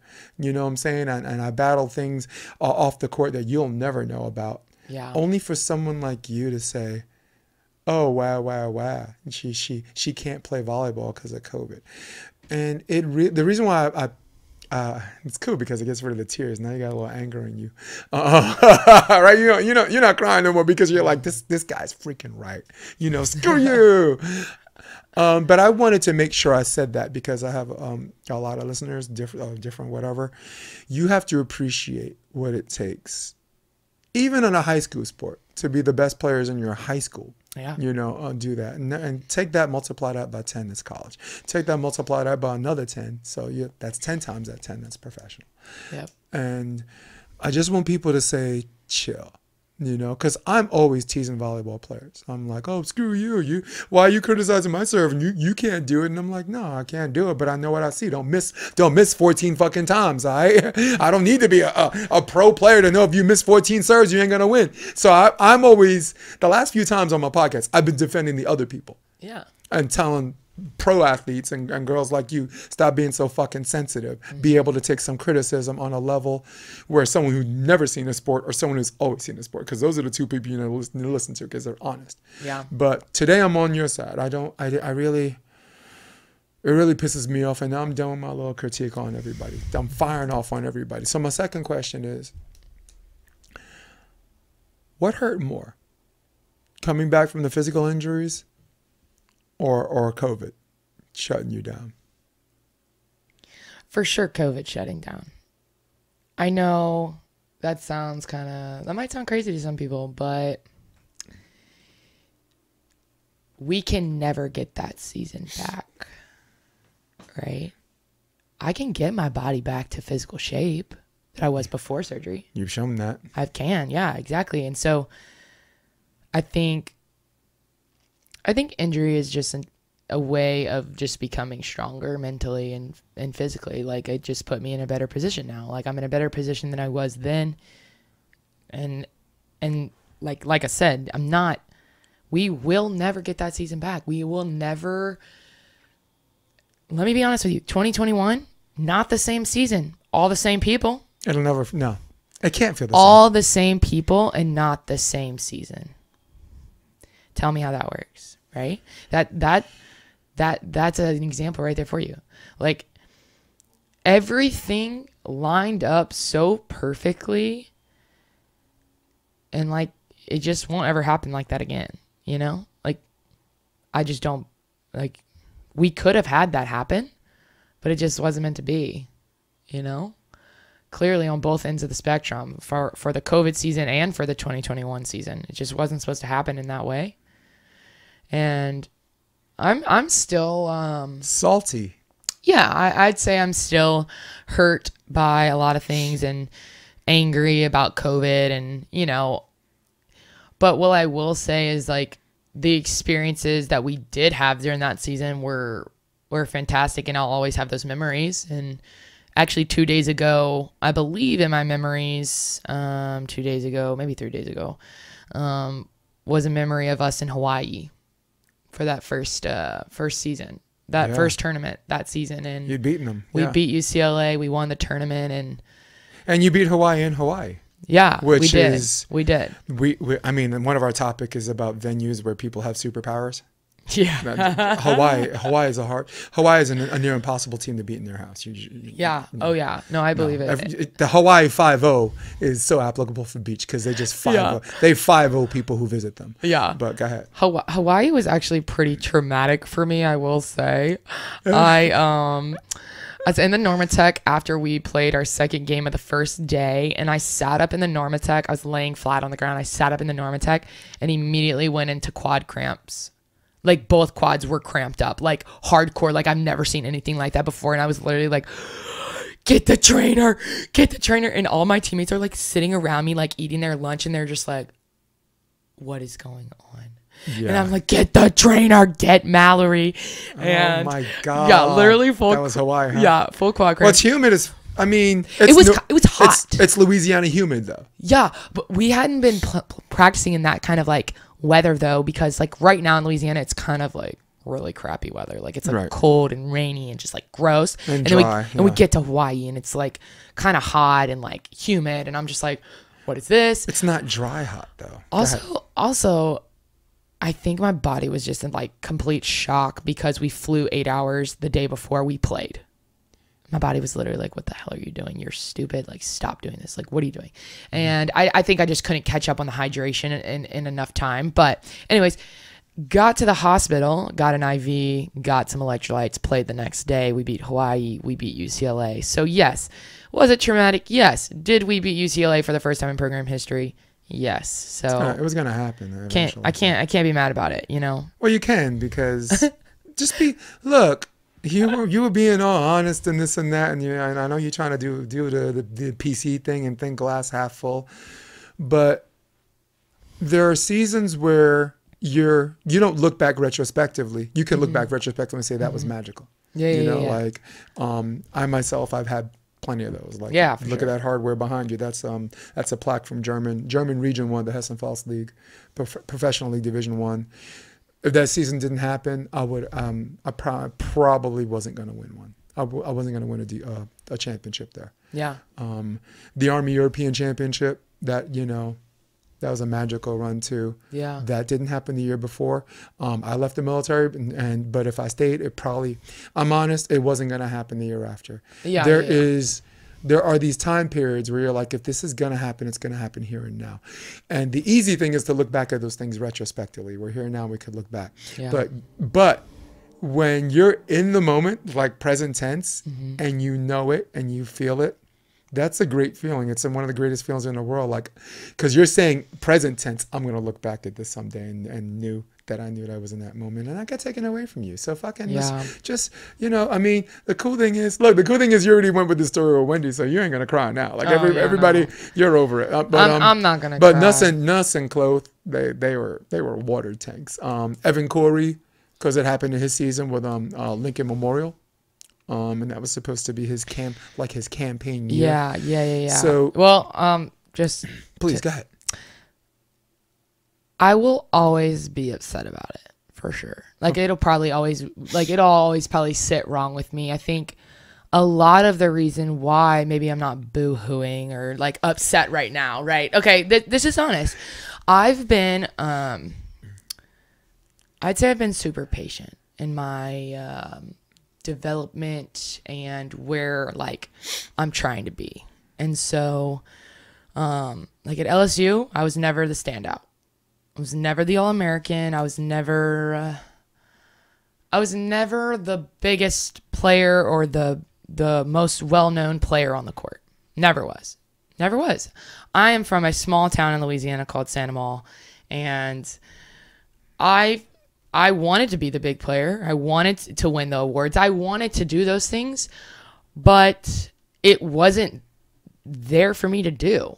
I, I was always more of the leader, the team player, the you know, like let's rally the troops, like let's let's do this, right? I was always the the person that just like fired people up, like talked, communicated, like that was me in a nutshell. And so just kind of going off of that, like I'll always be sad about it and I'll always, you know, I'm I'm still mad about 2021 season. That sits really bad with me right now. Still, I'm gonna be honest. And I'm not I'm not okay I with it. Well, Um, but- glass half full. You did beat Florida State, who kind of had your number that year. Yeah. beating them when it counted. That, that Was, that was cool. But That go, counted. But go ahead. Sorry. Um, but kind of just going off that, like, I feel like I've been super patient, and I moved to California in September for me. I moved here for my goals, which was to play professional beach volleyball, and I didn't know I didn't know a lot of people here. I'll tell you that. I moved out here blindly, basically, and I have figured it out since I stepped out here. Since day one that I've gotten here, I've I've just been trying to figure it out, right? And I've been working my way into this this new thing, right? Professional beach volleyball. It's not the easiest. I'll say it. It's not easy at all.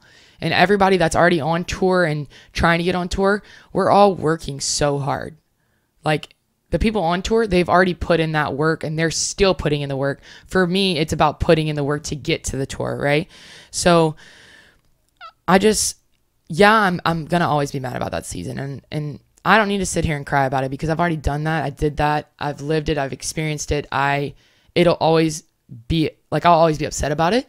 But I know there's bigger and better things that are on the horizon and I have goals that I've set and I have people surrounding me and I feel like I can do whatever I put my mind to at this point. And so I feel super um like hopeful and just have like lots of optimism on like this upcoming season and just like my future in beach volleyball. Like I like yeah, I'm upset, but like I can't like live and like think about that all the time, right? Like I Right. got to keep moving on and I got to keep thinking about all these other new opportunities and big things that are happening and coming my way and just like I don't know, like yeah, I'm just I'm just really grateful to be here.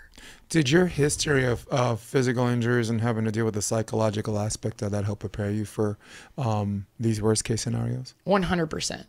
100%. And yeah, yeah, I said earlier that COVID was worse, but the, you know, I mean, pain, pain of an injury, like an ACL, and, you know, like that's freaking physical pain, you Savage, know? yeah. And yeah, like there was pain like that when we, we heard about our season ending. Like I, I will say, like I was, at first i think it didn't necessarily hit me as hard but then like as it became a realization you know it got harder and harder and once covid hit that's when i had my shoulder surgery so instead of worrying about i mean obviously i was worried about covid but like i quarantine happened uh, maybe like march 2020 Yeah. Pretty well, yeah.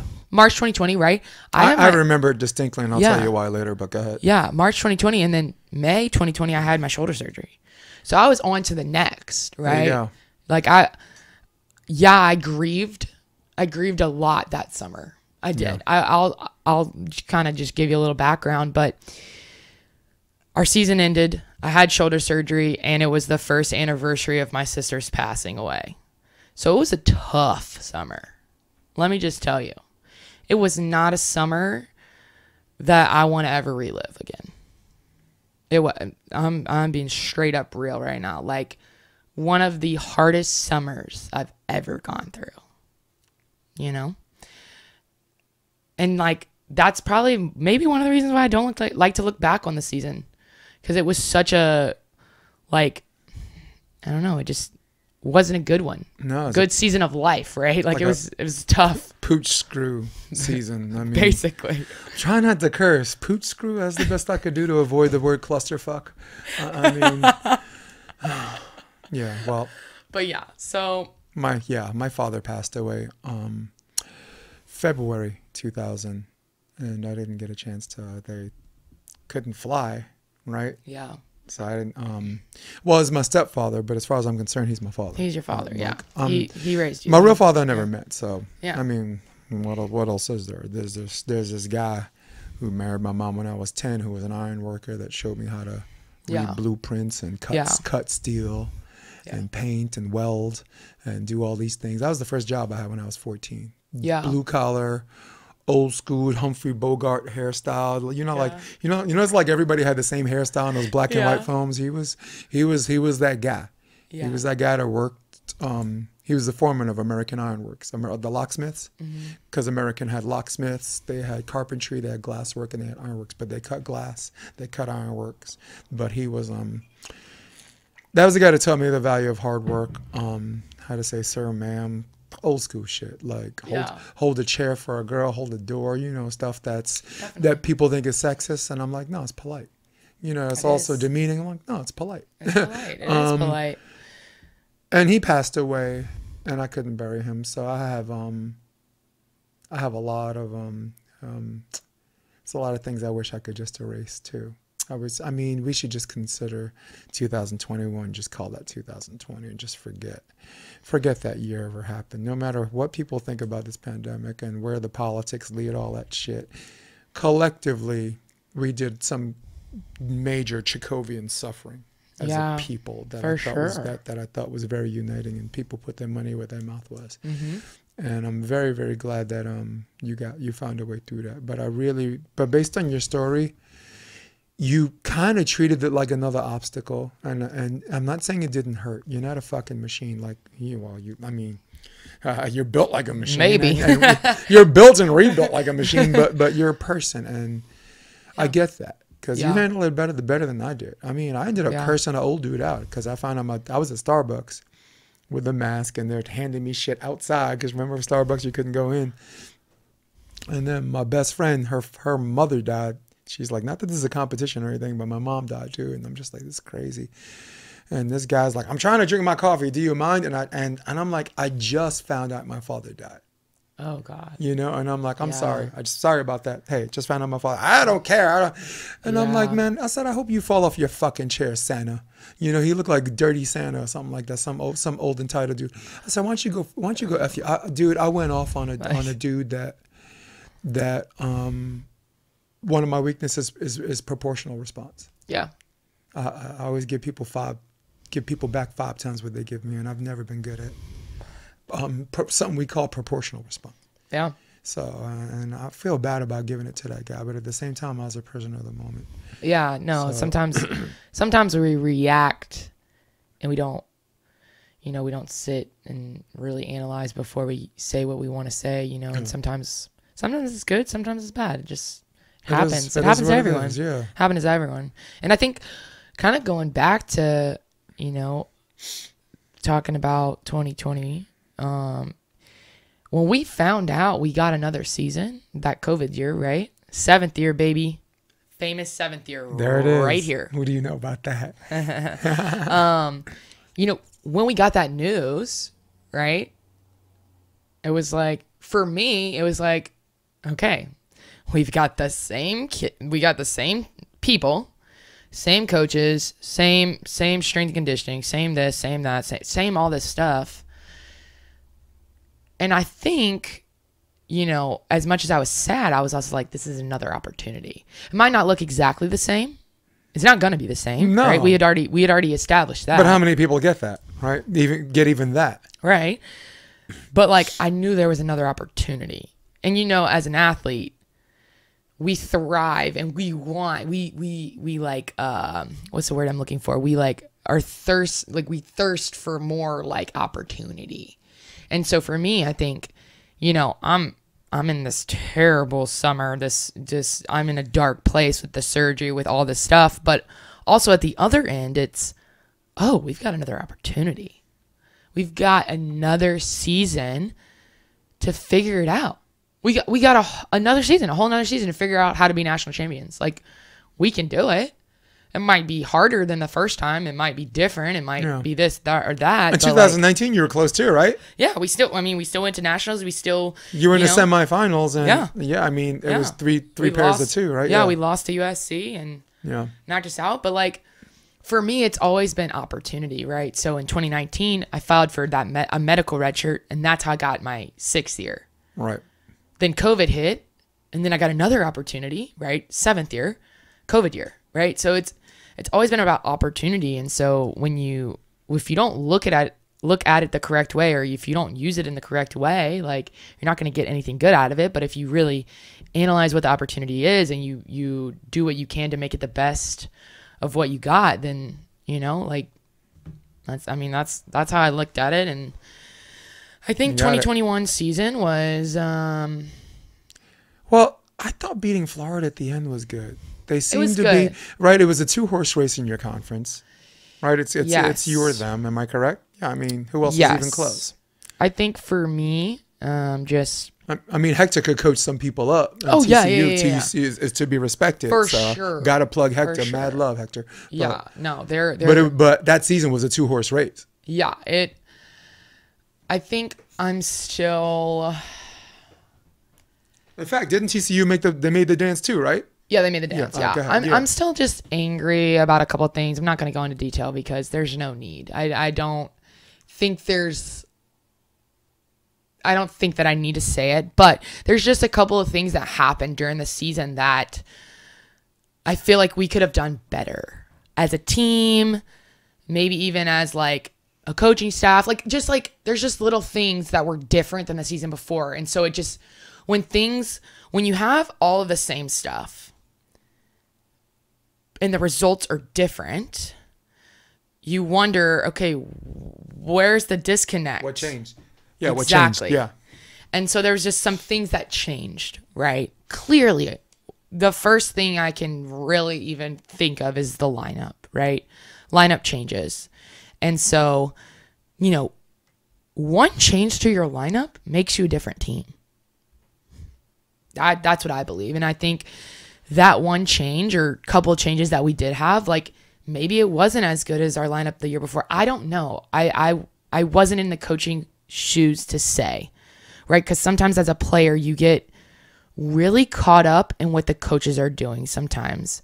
And for me, someone that wants to be a coach, I've always been the type to analyze why would they do this from a coaching standpoint, not an athlete standpoint. Right. Right. So I just think, um, like going based off that, there's just some things uh, that I like as a coach. Like I'm like, would I have done that? Would I have not done that? Like there's just a couple of things in that realm that I think about sometimes. And then just overall, I think our team dynamic was just a little bit different than the year before. I don't think. Right.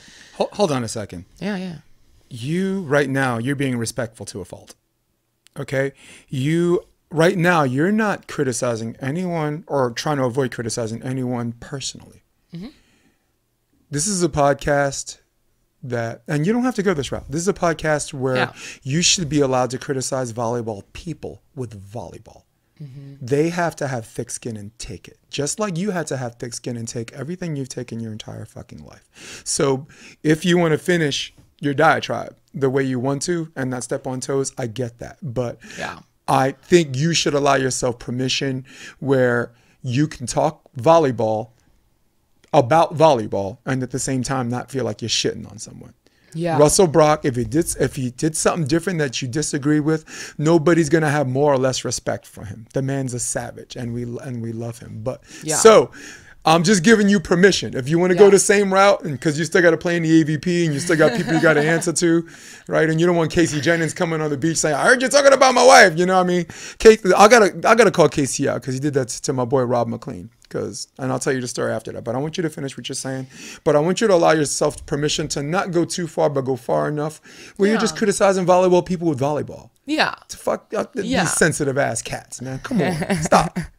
I had to stop you because I felt like I know, you're I trying to could get to a and you tell. and you and you you're dancing like Gregory Hines here. I could tell you were wanting more, but no, don't give me more if I don't if I don't if you if that's not I where you want to go. But I here's here's what it is.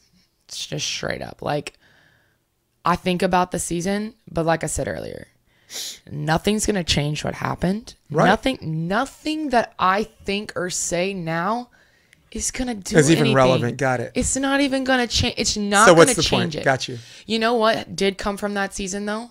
I felt that I was able to mentor some freshmen, right? I have a really, really good friend now, um, Ellie Shank. She's at LSU right now. She's a sophomore. She is one of the sweetest people I've ever met. She was 18 years old when she got to college, and I was 24 when we met. And I believe coming out of that season, she was one of my closest friends It's like 30 in college years. right? Like, it's just like, yeah, literally grandma, like over here, need a walker, like, and she's just like, just trusted me and like, just allowed me to be that for her, and and I truly respect that because I think every person that goes through sports and athletics, like, they always need that mentorship. Right. You always want someone to look up to. You want someone to be able to talk to. You want someone to get advice from. And like, I feel like I got to do that with her. And I feel like she really grew as a person, as a player, as a freshman just coming in. And I, I just, that was one of the biggest things that came from that season. Um, also, um, I'm now like closer than ever with Ashlyn Rasnick Pope, my partner from LSU. Like, we are best friends, and I love that girl to death. She's one of Is she out here now or? she's she's still LSU. She's a she's a senior now. Yeah. Oh, cool. So um yeah, it was just it's just awesome. Like it, it was always kind of like not like weird, but we weren't always the closest friends, like going through a partnership. And then like that last season, like we really got close and it just like it just made everything click and work better. And now like it's just so fun to have her still in my life and like still getting to call her and ask her about LSU. Like yeah, like I, I don't really like I don't have to hear about LSU stuff and I don't have to be a part of that, but like it's cool to still be there. It's women's and- beach. There's always going to be a little of that. Yeah, like I- and women's volleyball in general is going to be a little bit of that. Yeah, it's just nice to just still feel connected and like help her through tough times Yeah. now. Like, because, you know, for example, like she's now in the role of the senior, the leader, the person that everyone looks up to. And sometimes that's not where you want to be. Well, Right? Sometimes who, it's- who asked for that? Yeah, Nobody asked for that. yeah. Like, did Savvy? right? Did she? Did she ask for that? No. The only senior having to be a leader, right? Yeah, like, and Mm. I think that I think personally that not everyone's born to be a leader, No. but I think you can learn how to, um, depending on the person. And, and you know, I've d- I did my master's in leadership and human resources, so I know all about the leadership, the theories, and this and that. And you know, there's there's not one way to be a leader. No. There's not one way. And so, you know, I, I think it's it's something you can learn, but it's not for everyone. And so it's just been fun getting to kind of mentor her through that process, right? Being a leader, what you know, like she might not necessarily want to be there, but I know that she I know she wants it. And so like just kind of helping her guide her through that, it's been fun as well. And so and then also like, you know, I, I mean I've got I've got so many teams at LSU. I, I I've had so many teams, right? I've had five seasons indoor, three seasons beach. So I've had eight seasons of teams, Wow. right? So I've had a plethora of people and teammates and coaches and I mean, like I am so grateful for the 7 years I got in college because you know, most people are like, "Oh my god, you stayed for 7 years. How'd you do it? How'd you do it? How'd you do it?" But like It's like the time of my life. you just feel so like surrounded like by such amazing people and like my experience there was just like one I'll never forget and I I just LSU is just a great place and Well, your ability, your natural ability to, to treat everybody the same way. Um, call it upbringing.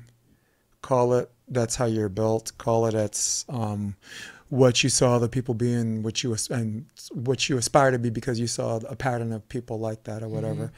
It's there, and people appreciate and they see it. And frankly speaking, so do I. Like, um, again, I'm not a shrink, but I recognize the symptoms. Um, I'm very much like that. I mean, Yeah. you'd be surprised. Like New Yorkers, they call New Yorkers rude, but you'd be surprised visiting the outer, outer boroughs, Brooklyn, Queens, the Bronx, Mm-hmm. um, not Staten Island. That's the worst place you you I've ever been in my life. That's where people go to die. That's like Lubbock, Texas. Okay, um, but there's a virtue of just that person. That's a person. I'm a person, and you and you and you build off that humanity, and it makes people want to be around you. It makes people want to be around you, right? Yeah. I'm a returning, returning, returning adult student. I went back to school at Marymount, Manhattan when I was 33 years old. Yeah. Did I feel like I was 15 years late for my prom? Yeah, maybe in the beginning. But uh, I mean, at the end of the day, I'm trying to get a degree and, and I'm doing, I'm studying theater. It's something I love. Very Yeah. much like volleyball, where you have to prepare and you have to rehearse and you have you have a director, and then when, Yeah. and then when the show starts, the director can't even fucking touch you. You know, Yeah. so so there's the very very much. In fact, I put volleyball four years on the shelf for that. Yeah. That's I was I was setting for a nasty ass club team that won nationals twice, Bameso, all Dominican team, uh, for adult adult not not juniors because um, juniors people. I'm gonna tell you the truth. All right, nobody cares. Nobody cares. When you get to college and you get to the pros, oh, I play for this team or this club team. Oh, we won. We you know we won gold or whatever. Volleyball is very theater and volleyball are the same. When you get to college, nobody cares what high school play you did. Nobody cares you did 40 seconds straight on high school. No, you care, and that's that, that's an experience or whatever, and this and that, and it shapes who you are, and you definitely form these bonds and these friendships. Uh, year, you know, a decade later, you look at each other and you remember and you know because it was the time of your life. Yeah. But for what you're trying to do, no, nobody cares. They, they only, I mean, as, as far as you know, winning and losing, but Yeah, I love your virtue, and I and, and because I recognize it, and I recognize the savvy is very very much the same. You Yeah. you um. You, you you put on a hard face, but I think it just comes from gritting your teeth from having all this shit stuck in you. Okay, but you know I agree. I yeah. agree. But I you think- are you're an amazing human being, and I'm, Thank I'm you. and I don't know if I'm, that's how I'm trying to end this podcast. We've been on. I know we've been on this longer than you expected. No, but that's I just mean- that's just how I roll. I love it. I, Um, I love this. But I want to ask two more questions before we get, um before we break out. So that Yeah. Um beating Florida State at the end when it counted, how good did that feel? You lost to them four times in the season, including including twice, twice in the uh, the conference playoffs. You know, I'm a little I'm a little mad about that still because at conference yeah, I was exposed to COVID and uh, was not allowed to play no, in, in the conference. oh my. God, no, I was not allowed to play in the conference tournament, and so that still sits with me very like like oh because Meaning it was a contact trace, right? You didn't actually have COVID. Yeah, so my boyfriend had COVID, and I was in contact with him, and um, I was told if I tested negative five times before the tournament, like five days in a row, I could play. Yeah, what's the problem? Well, the guidelines in Louisiana were different than in in uh, um, where were they? Uh, Huntington- Alabama. Honey, yeah, yeah, yeah, Alabama. The gu- guidelines were different, so I You know, we, you know, we consider those places the same out here, right? Yeah, Sorry, yeah. So like, I didn't get to play in that conference tournament, and and I'm not saying if I'd have played we would have won, but if, I mean, when I look back on the experience, I'm like, I feel like we, like, I feel like we could have won. Right, me and Ashlyn were doing really well at that point. We had really good connection going, and you know, Grace Seitz, who stepped in for me, amazing girl, amazing girl. She's a great friend of mine. Like, love her to death. Kind of similar to the Ellie situation the year before when Grace came in as a freshman. Kind of felt like I had some of that similar stuff going on. And she filled in for me for that tournament, and she did fantastic. It just so happened that she, um, I was watching the live streams, and I could tell something was off in the Florida State game, and Right. they were giving a good fight. Like they were they were doing really well and she did something to her knee. She's got some knee stuff going on, some knee pains. But you saw her walking noticeably. Yeah, I could tell something was conspicuously off. different. Yeah, Yeah. something was off. She just wasn't like like her. And come to find out, like her knee was really bothering her during the game because she did something in warm ups. And so, I mean, there's no excuses. And I, I, I mean, yes and no, but I feel like the results could have been different had I got an opportunity to play or had she not had that little thing with her knee or you know there's a lot of things that could have been changed or happened but Right. overall still a little mad about it but once we got the nationals, beating them for the first time when it actually mattered. kind of a confirmation bias. Oh my gosh, it was the best feeling. Um, me and Ashlyn were actually so close to finishing our game. Like we were so close to being that 13 that won. But they- but it didn't even they matter. rang the, but they rang the school yeah, bell. They rang the school bell. It didn't even matter. We ran over to the ones court and we all just like just oh my god, it was just such a celebration and just you know, Florida State's always been a good team. They're they're still a good team now. I mean, I think they're ranked like third in the preseason polls, and like I have mad respect for them. They always have good athletes, and and they do a really good job. Like they're, I mean, Brooke, she's amazing. Like I think she's a great coach, and so mad respect for them. But like, She's just to, alright, but go ahead. just just to feel like the success like regardless of if we had won or lost the national championship we finally beat florida state. So that was like such a great feeling you know something we were working towards in our season. So that was something that we did accomplish and that's something to be like happy about glad about you know? I mean it's a good feeling. So for people listening at home, um, or wherever you are, um, the way college beach volleyball works, it's basically five teams, five doubles teams versus five doubles teams. So you're basically winning something called a duel. Best three out of five teams. And each team plays two out of three sets. And for my volleyball people, thank you for your patience. Like we know this, Jason. Shut the fuck up. But um so highlighting Gulf Shores. Once one of the duels wins three matches. Once the three out of five happens, the other teams that are playing, this is crazy. they just stop. They stop playing. They don't finish the match. It's, It's like so, you're in the middle of this math test, right? And you get cornered, right? And it's like, do you know the answer to that? Did you do your homework or not? And it's like the bell rings. It's like, gotta, Gotta go. that's good that's a great Uh, analogy it is that was the best It analogy is the perfect analogy. It is mad appropriate for, for what the fuck we're talking about right here. I'm trying not to say the F word because I want my kids to share this podcast. Yeah, I want yeah. everyone to share this podcast because I'm having some problems with Facebook. They will, They, they won't will. allow me to run ads. They won't allow me to run notifications. So, um, and I do have a, a large bunch of people who actually who actively look for new episodes, which is rare, right? Look, I'm not Kim Kardashian where um, uh, all of my videos are just coming out to people who are not subscribed to me. They're just they're just right. I got new butt implants. Someone who, doesn't know or care is get the videos there, and, and the I'm like, uh, notification. yeah, all right. No, but the video's there, and I'm like, Yeah. You know, you initially don't care about her or Kanye or or Bruce or Caitlyn, but Yeah. it's there. You're like, you're curious. So, Yeah. so they got that luxury, and right now, um, I'm al- algorithmically blocked from that luxury at least for now. I'll figure that shit out later. Yeah, but I'm trying not to curse because I want I want my kids to share this too. And I definitely want the parents to share this because that's a great story. Oh, yeah, that's a great story. Um, last question. Do you notice that certain players have superpowers? And I asked I asked Savvy of this question too.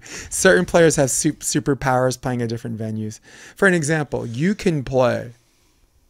Let's just say Sponcil and Claes at the time, where you can play Kolinske and Stockman in Manhattan Beach, and it seems like they're they're more likely to win that game. But you can pl- also play them in Chicago, mm-hmm. and now you're in the third set. And the third set, it's really the whoever's the hottest. It's not even a better team because the third set already shows you're e- you're equally you're equal enough Yeah, where, yeah, where yeah. anyone can win that. Mm-hmm.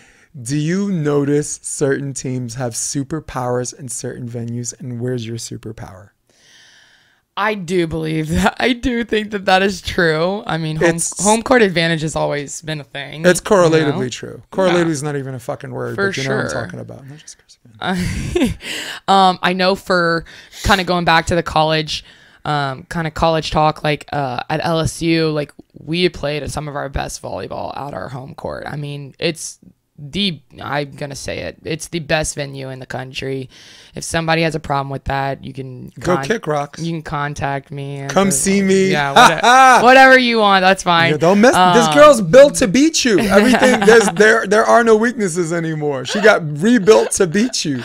Um, Go ahead, little bionic woman. Yeah, so like at LSU, our courts, um, we have super deep sand, and um, it's a it's a, it's a different type of deep sand, Yeah. right? You have your friggin' Hermosa Manhattan sand, which is deep, and it's the type of sand that you kind of sink into, right? California Right. sand you kind of sink into. Our sand's like big craters, oh. right? It's Oh, like mm, like just like big holes. Like Yeah. it's just so deep and like you You're don't like- necessarily You're sink like, why is the middle of the net higher yeah, than the yeah, sides? yeah, basically. And so I also like think back to when we played UCLA at home, right? That was magical. That was probably one of the best moments of my college career. You're in my house now. Yeah, like that was unreal. Our fan base, our supporters, like we had over 2,000 people in our facility. That's packed. That's the most Right. we've ever had. Right. Right. That that is we have never felt that type of atmosphere. But to feel that and then beat UCLA, It's electric. like electric. Like That was like Corey and Weber beating Rafu and um yeah. and uh, Marciniak and Kenner, Coconut Beach. Yep. I ha- I called that match. Electric. I'm gonna get permission. I actually I, I video captured that match because that that Yeah. was that was my rock star moment. I called center court. Hey. Um, and I want I want that on my YouTube handle. One hundred percent. They, Yeah. I mean, I do believe pla- players have those superpowers. I think. Um. There's too much correlation that that Yeah. to suggest it. Yeah. Like Hawaii. We just talked about Hawaii. Yeah. Yeah. Exactly. Look at their look at their win loss. Forget their beach team. Look at all of their teams. Look at their women's team. Look at their indoor men's team. I Mm-hmm. think they're probably in the number one seed, if not number two or three. That's crazy. One hundred percent. I love, but I love when people are like, "Oh wow, so you think just playing in this certain place made you beat that team?" And I'm like, "Yes, yes." On a large scale, there's just there's way too much evidence. On a small scale, Yeah. you just you just gave. Uh, uh, you can go to your high school games, home games. You uh, LSU beating UCLA. That's a large scale game. Uh, Yeah. New York, there's a place in Harlem called Riverbank State Park. Free volleyball Monday and Wednesday. Yeah. All all Dominican. No one on no one in that damn gym speaks English Yeah. so, so there's a bunch of courts. It's high level, this and that. So, but it's all 4s So I call I just call it Dominican fours. But I can play four short dudes, Yeah. and I and I, and I could play them three times or maybe four times the whole night, and I'll lose all four times. But anywhere else they'll play me, I can beat that team. And it's so weird because it's like, wow, Jason won. He what? He he won regionals. He won a bid. This is not the guy that got smoked on 145th by them short dudes, you know. And I'm like, both are true. Both are true. What do, you, what do you guys say about that? Yes, I'm that guy that lost to them. them Yeah. I can't. I gotta. It's not even legal to say midgets anymore. Them little tiny people. little tiny people. I'm just jealous because these guys, skill set wise, what it took me years to consciously learn how to do serve, receive. How do I get out of my head and just pass this ball? These guys, those are things where it looks like they're not even worried about. Yeah. I'm worried about giving a good set because I became a, a setter. Yeah. I was my first four years, five years outside hitter, and then straight to setter. Heck Um, yes. But I'm like, is this four gonna look good, or is my first hit gonna look good? These are things where I'm like, these dudes are not even like on my level, and they're doing it. and they don't even. And I'm like, you motherfucker. They don't even care. They're just doing. No, I I hate you. I hate you and and the little short dude next to you. Basically, yes. Yes. And they're like, I hate you too, you tall bastard. I hope Bin, hope Bin Laden flies a plane into your lip. um, so, but that was the last question I wanted to ask. And um, you got any questions you want to ask me? Anything you, you want to know about me? I don't think nobody nobody cares about me. But if you're but if you're curious about it, um, um, if you're curious about it, then now's the time to ask. Sure, I'll I'll take over your role. Um, Jason, give us a little uh, background into um, what all you're doing now in the volleyball world. Well, recently I got sucked back into coaching uh, juniors when I when I promised when I sw- I gave my word to God that I wouldn't. Um, had a falling out at Endless Summer. Duran Forbes personally was still friends. Business, I'm gonna just say what it is. I didn't, I didn't like the way that was handled. We could have handled both of us could have handled that better, but I'm always gonna say on her part more than mine. And Jo Jason Olive, former All American. Um, Ralph supermodel like Ralph Lauren, Versace won the first Yeah. likeness likeness lawsuit against Hawaii Okay. because they said he couldn't model and do that, but he, Yeah. he took him to court and, and, and put it in, put it put it on him. Yeah. Um, he came up. Um, I got an indoor team. I'm like, no, I'm good. I don't want to do it. Dain Blanton is like, dude, I'm doing LA Beach with Jason Olive or whatever, and I'm like, Jason, I love it. And I'm, I mean, Dain, I'm, I'm cool, and there's no one I respect more than you. On, I mean, on on so many levels as Yeah. a player and a coach. Like he's the only player right now to have an Olympic gold medal, um, an AVP crown, and an NCAA championship as a player and a coach. No other male player holds that distinction. Not even Karch. Kiraly. So telling him no, and I'm like, I feel weird for saying this because this is like turning down sex from like Halle Berry in her prime. It's like I can't believe I'm saying no, Oh but I God. but I have a girlfriend, right? Yeah, yeah. I, I mean, right? When Yeah. normally you'd be like, ain't nobody watching. Ain't nobody. So um, um, they both came together, and I said yes because I was the only. I mean, that was too much. There was too much star power to say no. So I'm Yeah. doing that. I was just happy with the podcast. The podcast is taking off. Yeah, your podcast Um, is I was traveling, amazing. doing color commentary because that was one of the things I wanted to do when I moved here. I moved here five years ago, and it took fun. it took a long time to get that break. Yeah. Casey Jennings, who my, my re, one of my close friends and resident nutball, saw me on uh, talking on a YouTube video. I Was like, I like that guy. So he took me to Vegas, uh, FIVB. Yeah. I auditioned Court Five as an audition, and they liked me. So I started calling all of Pepperdine's home games. The Big West Championship when Hawaii played Cal Poly, I called Court Four, and Travis is there with me. Travis, uh, my Yeah. Dodd. It was Dodd Hovland. yeah. Rob Espero, Yeah. Filipino Savage. Um, so that's what I've been up to lately. It's the podcast.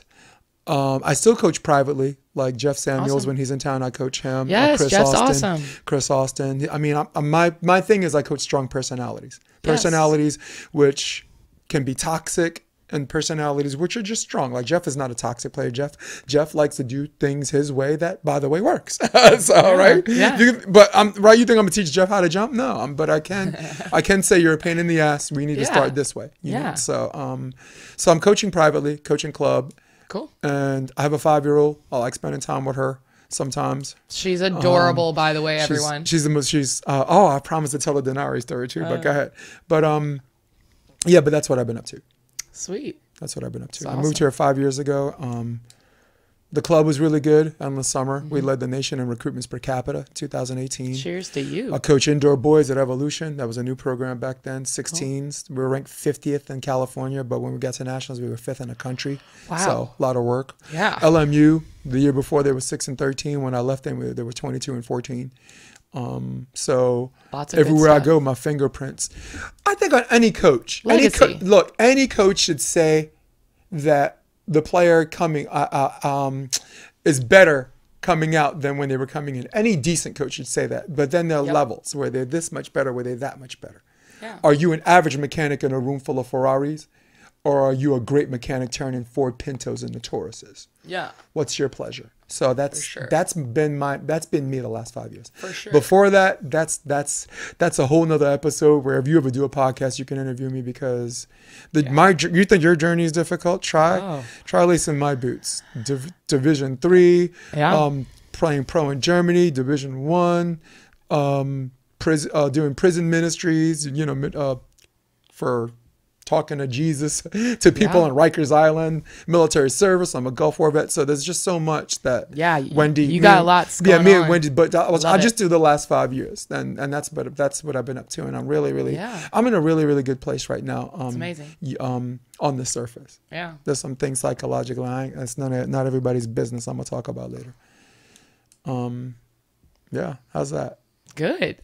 Good job. Yeah, Look at me stepping in, being No. you. Well, it's a podcast. I know, I like love it. some people consider it an interview, but a, uh, the reason why I have a podcast is is because Open dialogue. you need a venue that's unfiltered. There's Yeah. already enough regulation where where people are allowed to say things and not say things, and I think if people can take it, yeah. um, that allow people to get permission to think out loud, to make mistakes Yeah, for to, sure. to say the wrong things and correct themselves. We can get somewhere as a collective whole. This podcast had a mission that I didn't find out until episode 25, but but um Yeah. you know cuz it was just a volleyball podcast It with my friends time. talking shit, but but now um No, it takes time but to now develop. yeah, provoke look, ask the question. Ask the question again, provoke thought. And even if you don't have an answer, asking the questions enough because it at least makes people think. That's the podcast. Through Yeah. through sports, entertainment, current events, and health and wellness. Thank God for Wendy Jones with the health and wellness. Heck yes. Isn't what she the woman. nicest human being in the world? What a woman. I'm actually Cool. taking her. She just had her ankle surgery. Yeah. I'm taking her to go see her son. Oh, you're gonna be the Uh, nurse? yeah, I, well, I'm taking her to go see her son play at Long Beach on Friday. Yes, people, listen. This episode comes out tomorrow, which is Friday, but it's gonna come out early enough. Long Beach State plays um Stanford. uh, Stanford, and her son Luke Turner was the starting oppa, but I think he's hitting outside now. Is he still opposite? I wonder. sure. Yeah, They're doing a lot of mix and match, and I did see him Yeah. play before, and he looks good. I'm Kid looks good, excited. yeah, we're gonna. I'm gonna take her down there. She got her ankle. Ashley's ankle coming too. Ashley Clark is going Yep. too. Yep. Maybe take my wife. Take, I'm like, take my wife. Yeah, please, I'll take your please, wife. please take my wife. She, I'm taking your wife. Cause she, I, uh, Wendy, uh, well, I was supposed to go to the game, but my practice got moved from Saturday to Friday because I have a, junior, Oh. a juniors tournament this Sunday. So, Yeah. so I gotta Uh, do what I gotta do. Beach or indoor? Uh, indoor, Indoor, indoor, yeah. cool, LA cool. Volleyball Club. I coach oh yeah, yeah, yeah, yeah. Cool. Yeah, we have Awesome. two. We have a Flow One team, which is like top five in the country, and we have a Flow Two team that's developmental. But but now everybody thinks they're good too because we, I don't know, we just got good. So we they're gonna hit a brick wall eventually Yeah, yeah. when you hit the top ten or whatever. But they're they're we're undefeated in every tournament except the PVL qualifier Sweet. where we just we just missed the cut. But Yeah. I I was just trying to talk long enough because we're almost at two hours. if you look at the ticker, look at the clock down there. Oh, we're, We're- so close. And we're right there. That's a wrap. that is a wrap. Let's before we go, is there um um people want to know more about you. Oh my god, that girl's so good. In fact, she is so fun. How could I be down? What's her IG handle? Does she have a website? I just want to follow her everywhere she goes. She got new bionic arms and legs. She got that natural face. She got the swishy hair. Where are you? Tag tag Um, yourself. So I'm on Instagram. Um, it's at Big Toe. Um, and the toe is spelled T A U X, and that's just um, that's just a, a Louisiana thing. LS, right? LSU thing. Uh, We spell our go G E A U X, and so I've just been like, you know, sticking with it. You know, that's home. Um, just trying to brand myself. But yeah, that's my nickname, Big Toe. I got that when I was at LSU. It first was massive toenails, but we changed it. Thank God. Woo. Ah. So it's Big Toe on Instagram. You could follow me on Facebook. I do all my uh, games live stream there. Um, Toni T Rodriguez. Um, I'm not gonna spell it out because I think you guys can find me. But I also do a little. Uh, Q, yeah, ahead. yeah, it's a G. Just so y'all know. Um, also, I do have a little business going right now. It's called Level Up Volleyball. It's a virtual recruiting platform um, for my junior um, girls that are trying to play in college. So if you are interested, um, my website is www.levelupvolleyball.com. And uh, I have TikTok. I'm not the biggest, you know, I don't make a lot of videos, but I might start if you guys are going to follow me. It's uh, Toe, T O E E E E E, knee. Uh, K N E E E E. So if you analyze my name, it's just a toe and a knee. Okay, two body parts. Don't forget that. Oh my God. Hold on, I gotta record this part. She got three toes on her knee, and they call her Tony, Tony, Tony. Tony, Tony, Tony. there we go. I can stop. Oh, I didn't even press record on that. You an idiot. I'm not should I do it again? Tony, Tony, Tony. Tony, Tony, Tony. That's it. All right. Bye.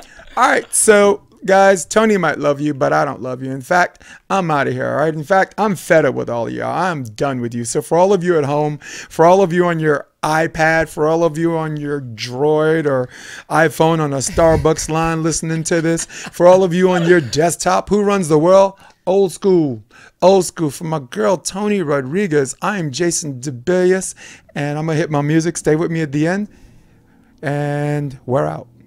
Come check out the Option Podcast on OptionVB.com. It's also available on iTunes and Spotify and on YouTube under the NY Varsity Sports handle. You're going to love what you hear.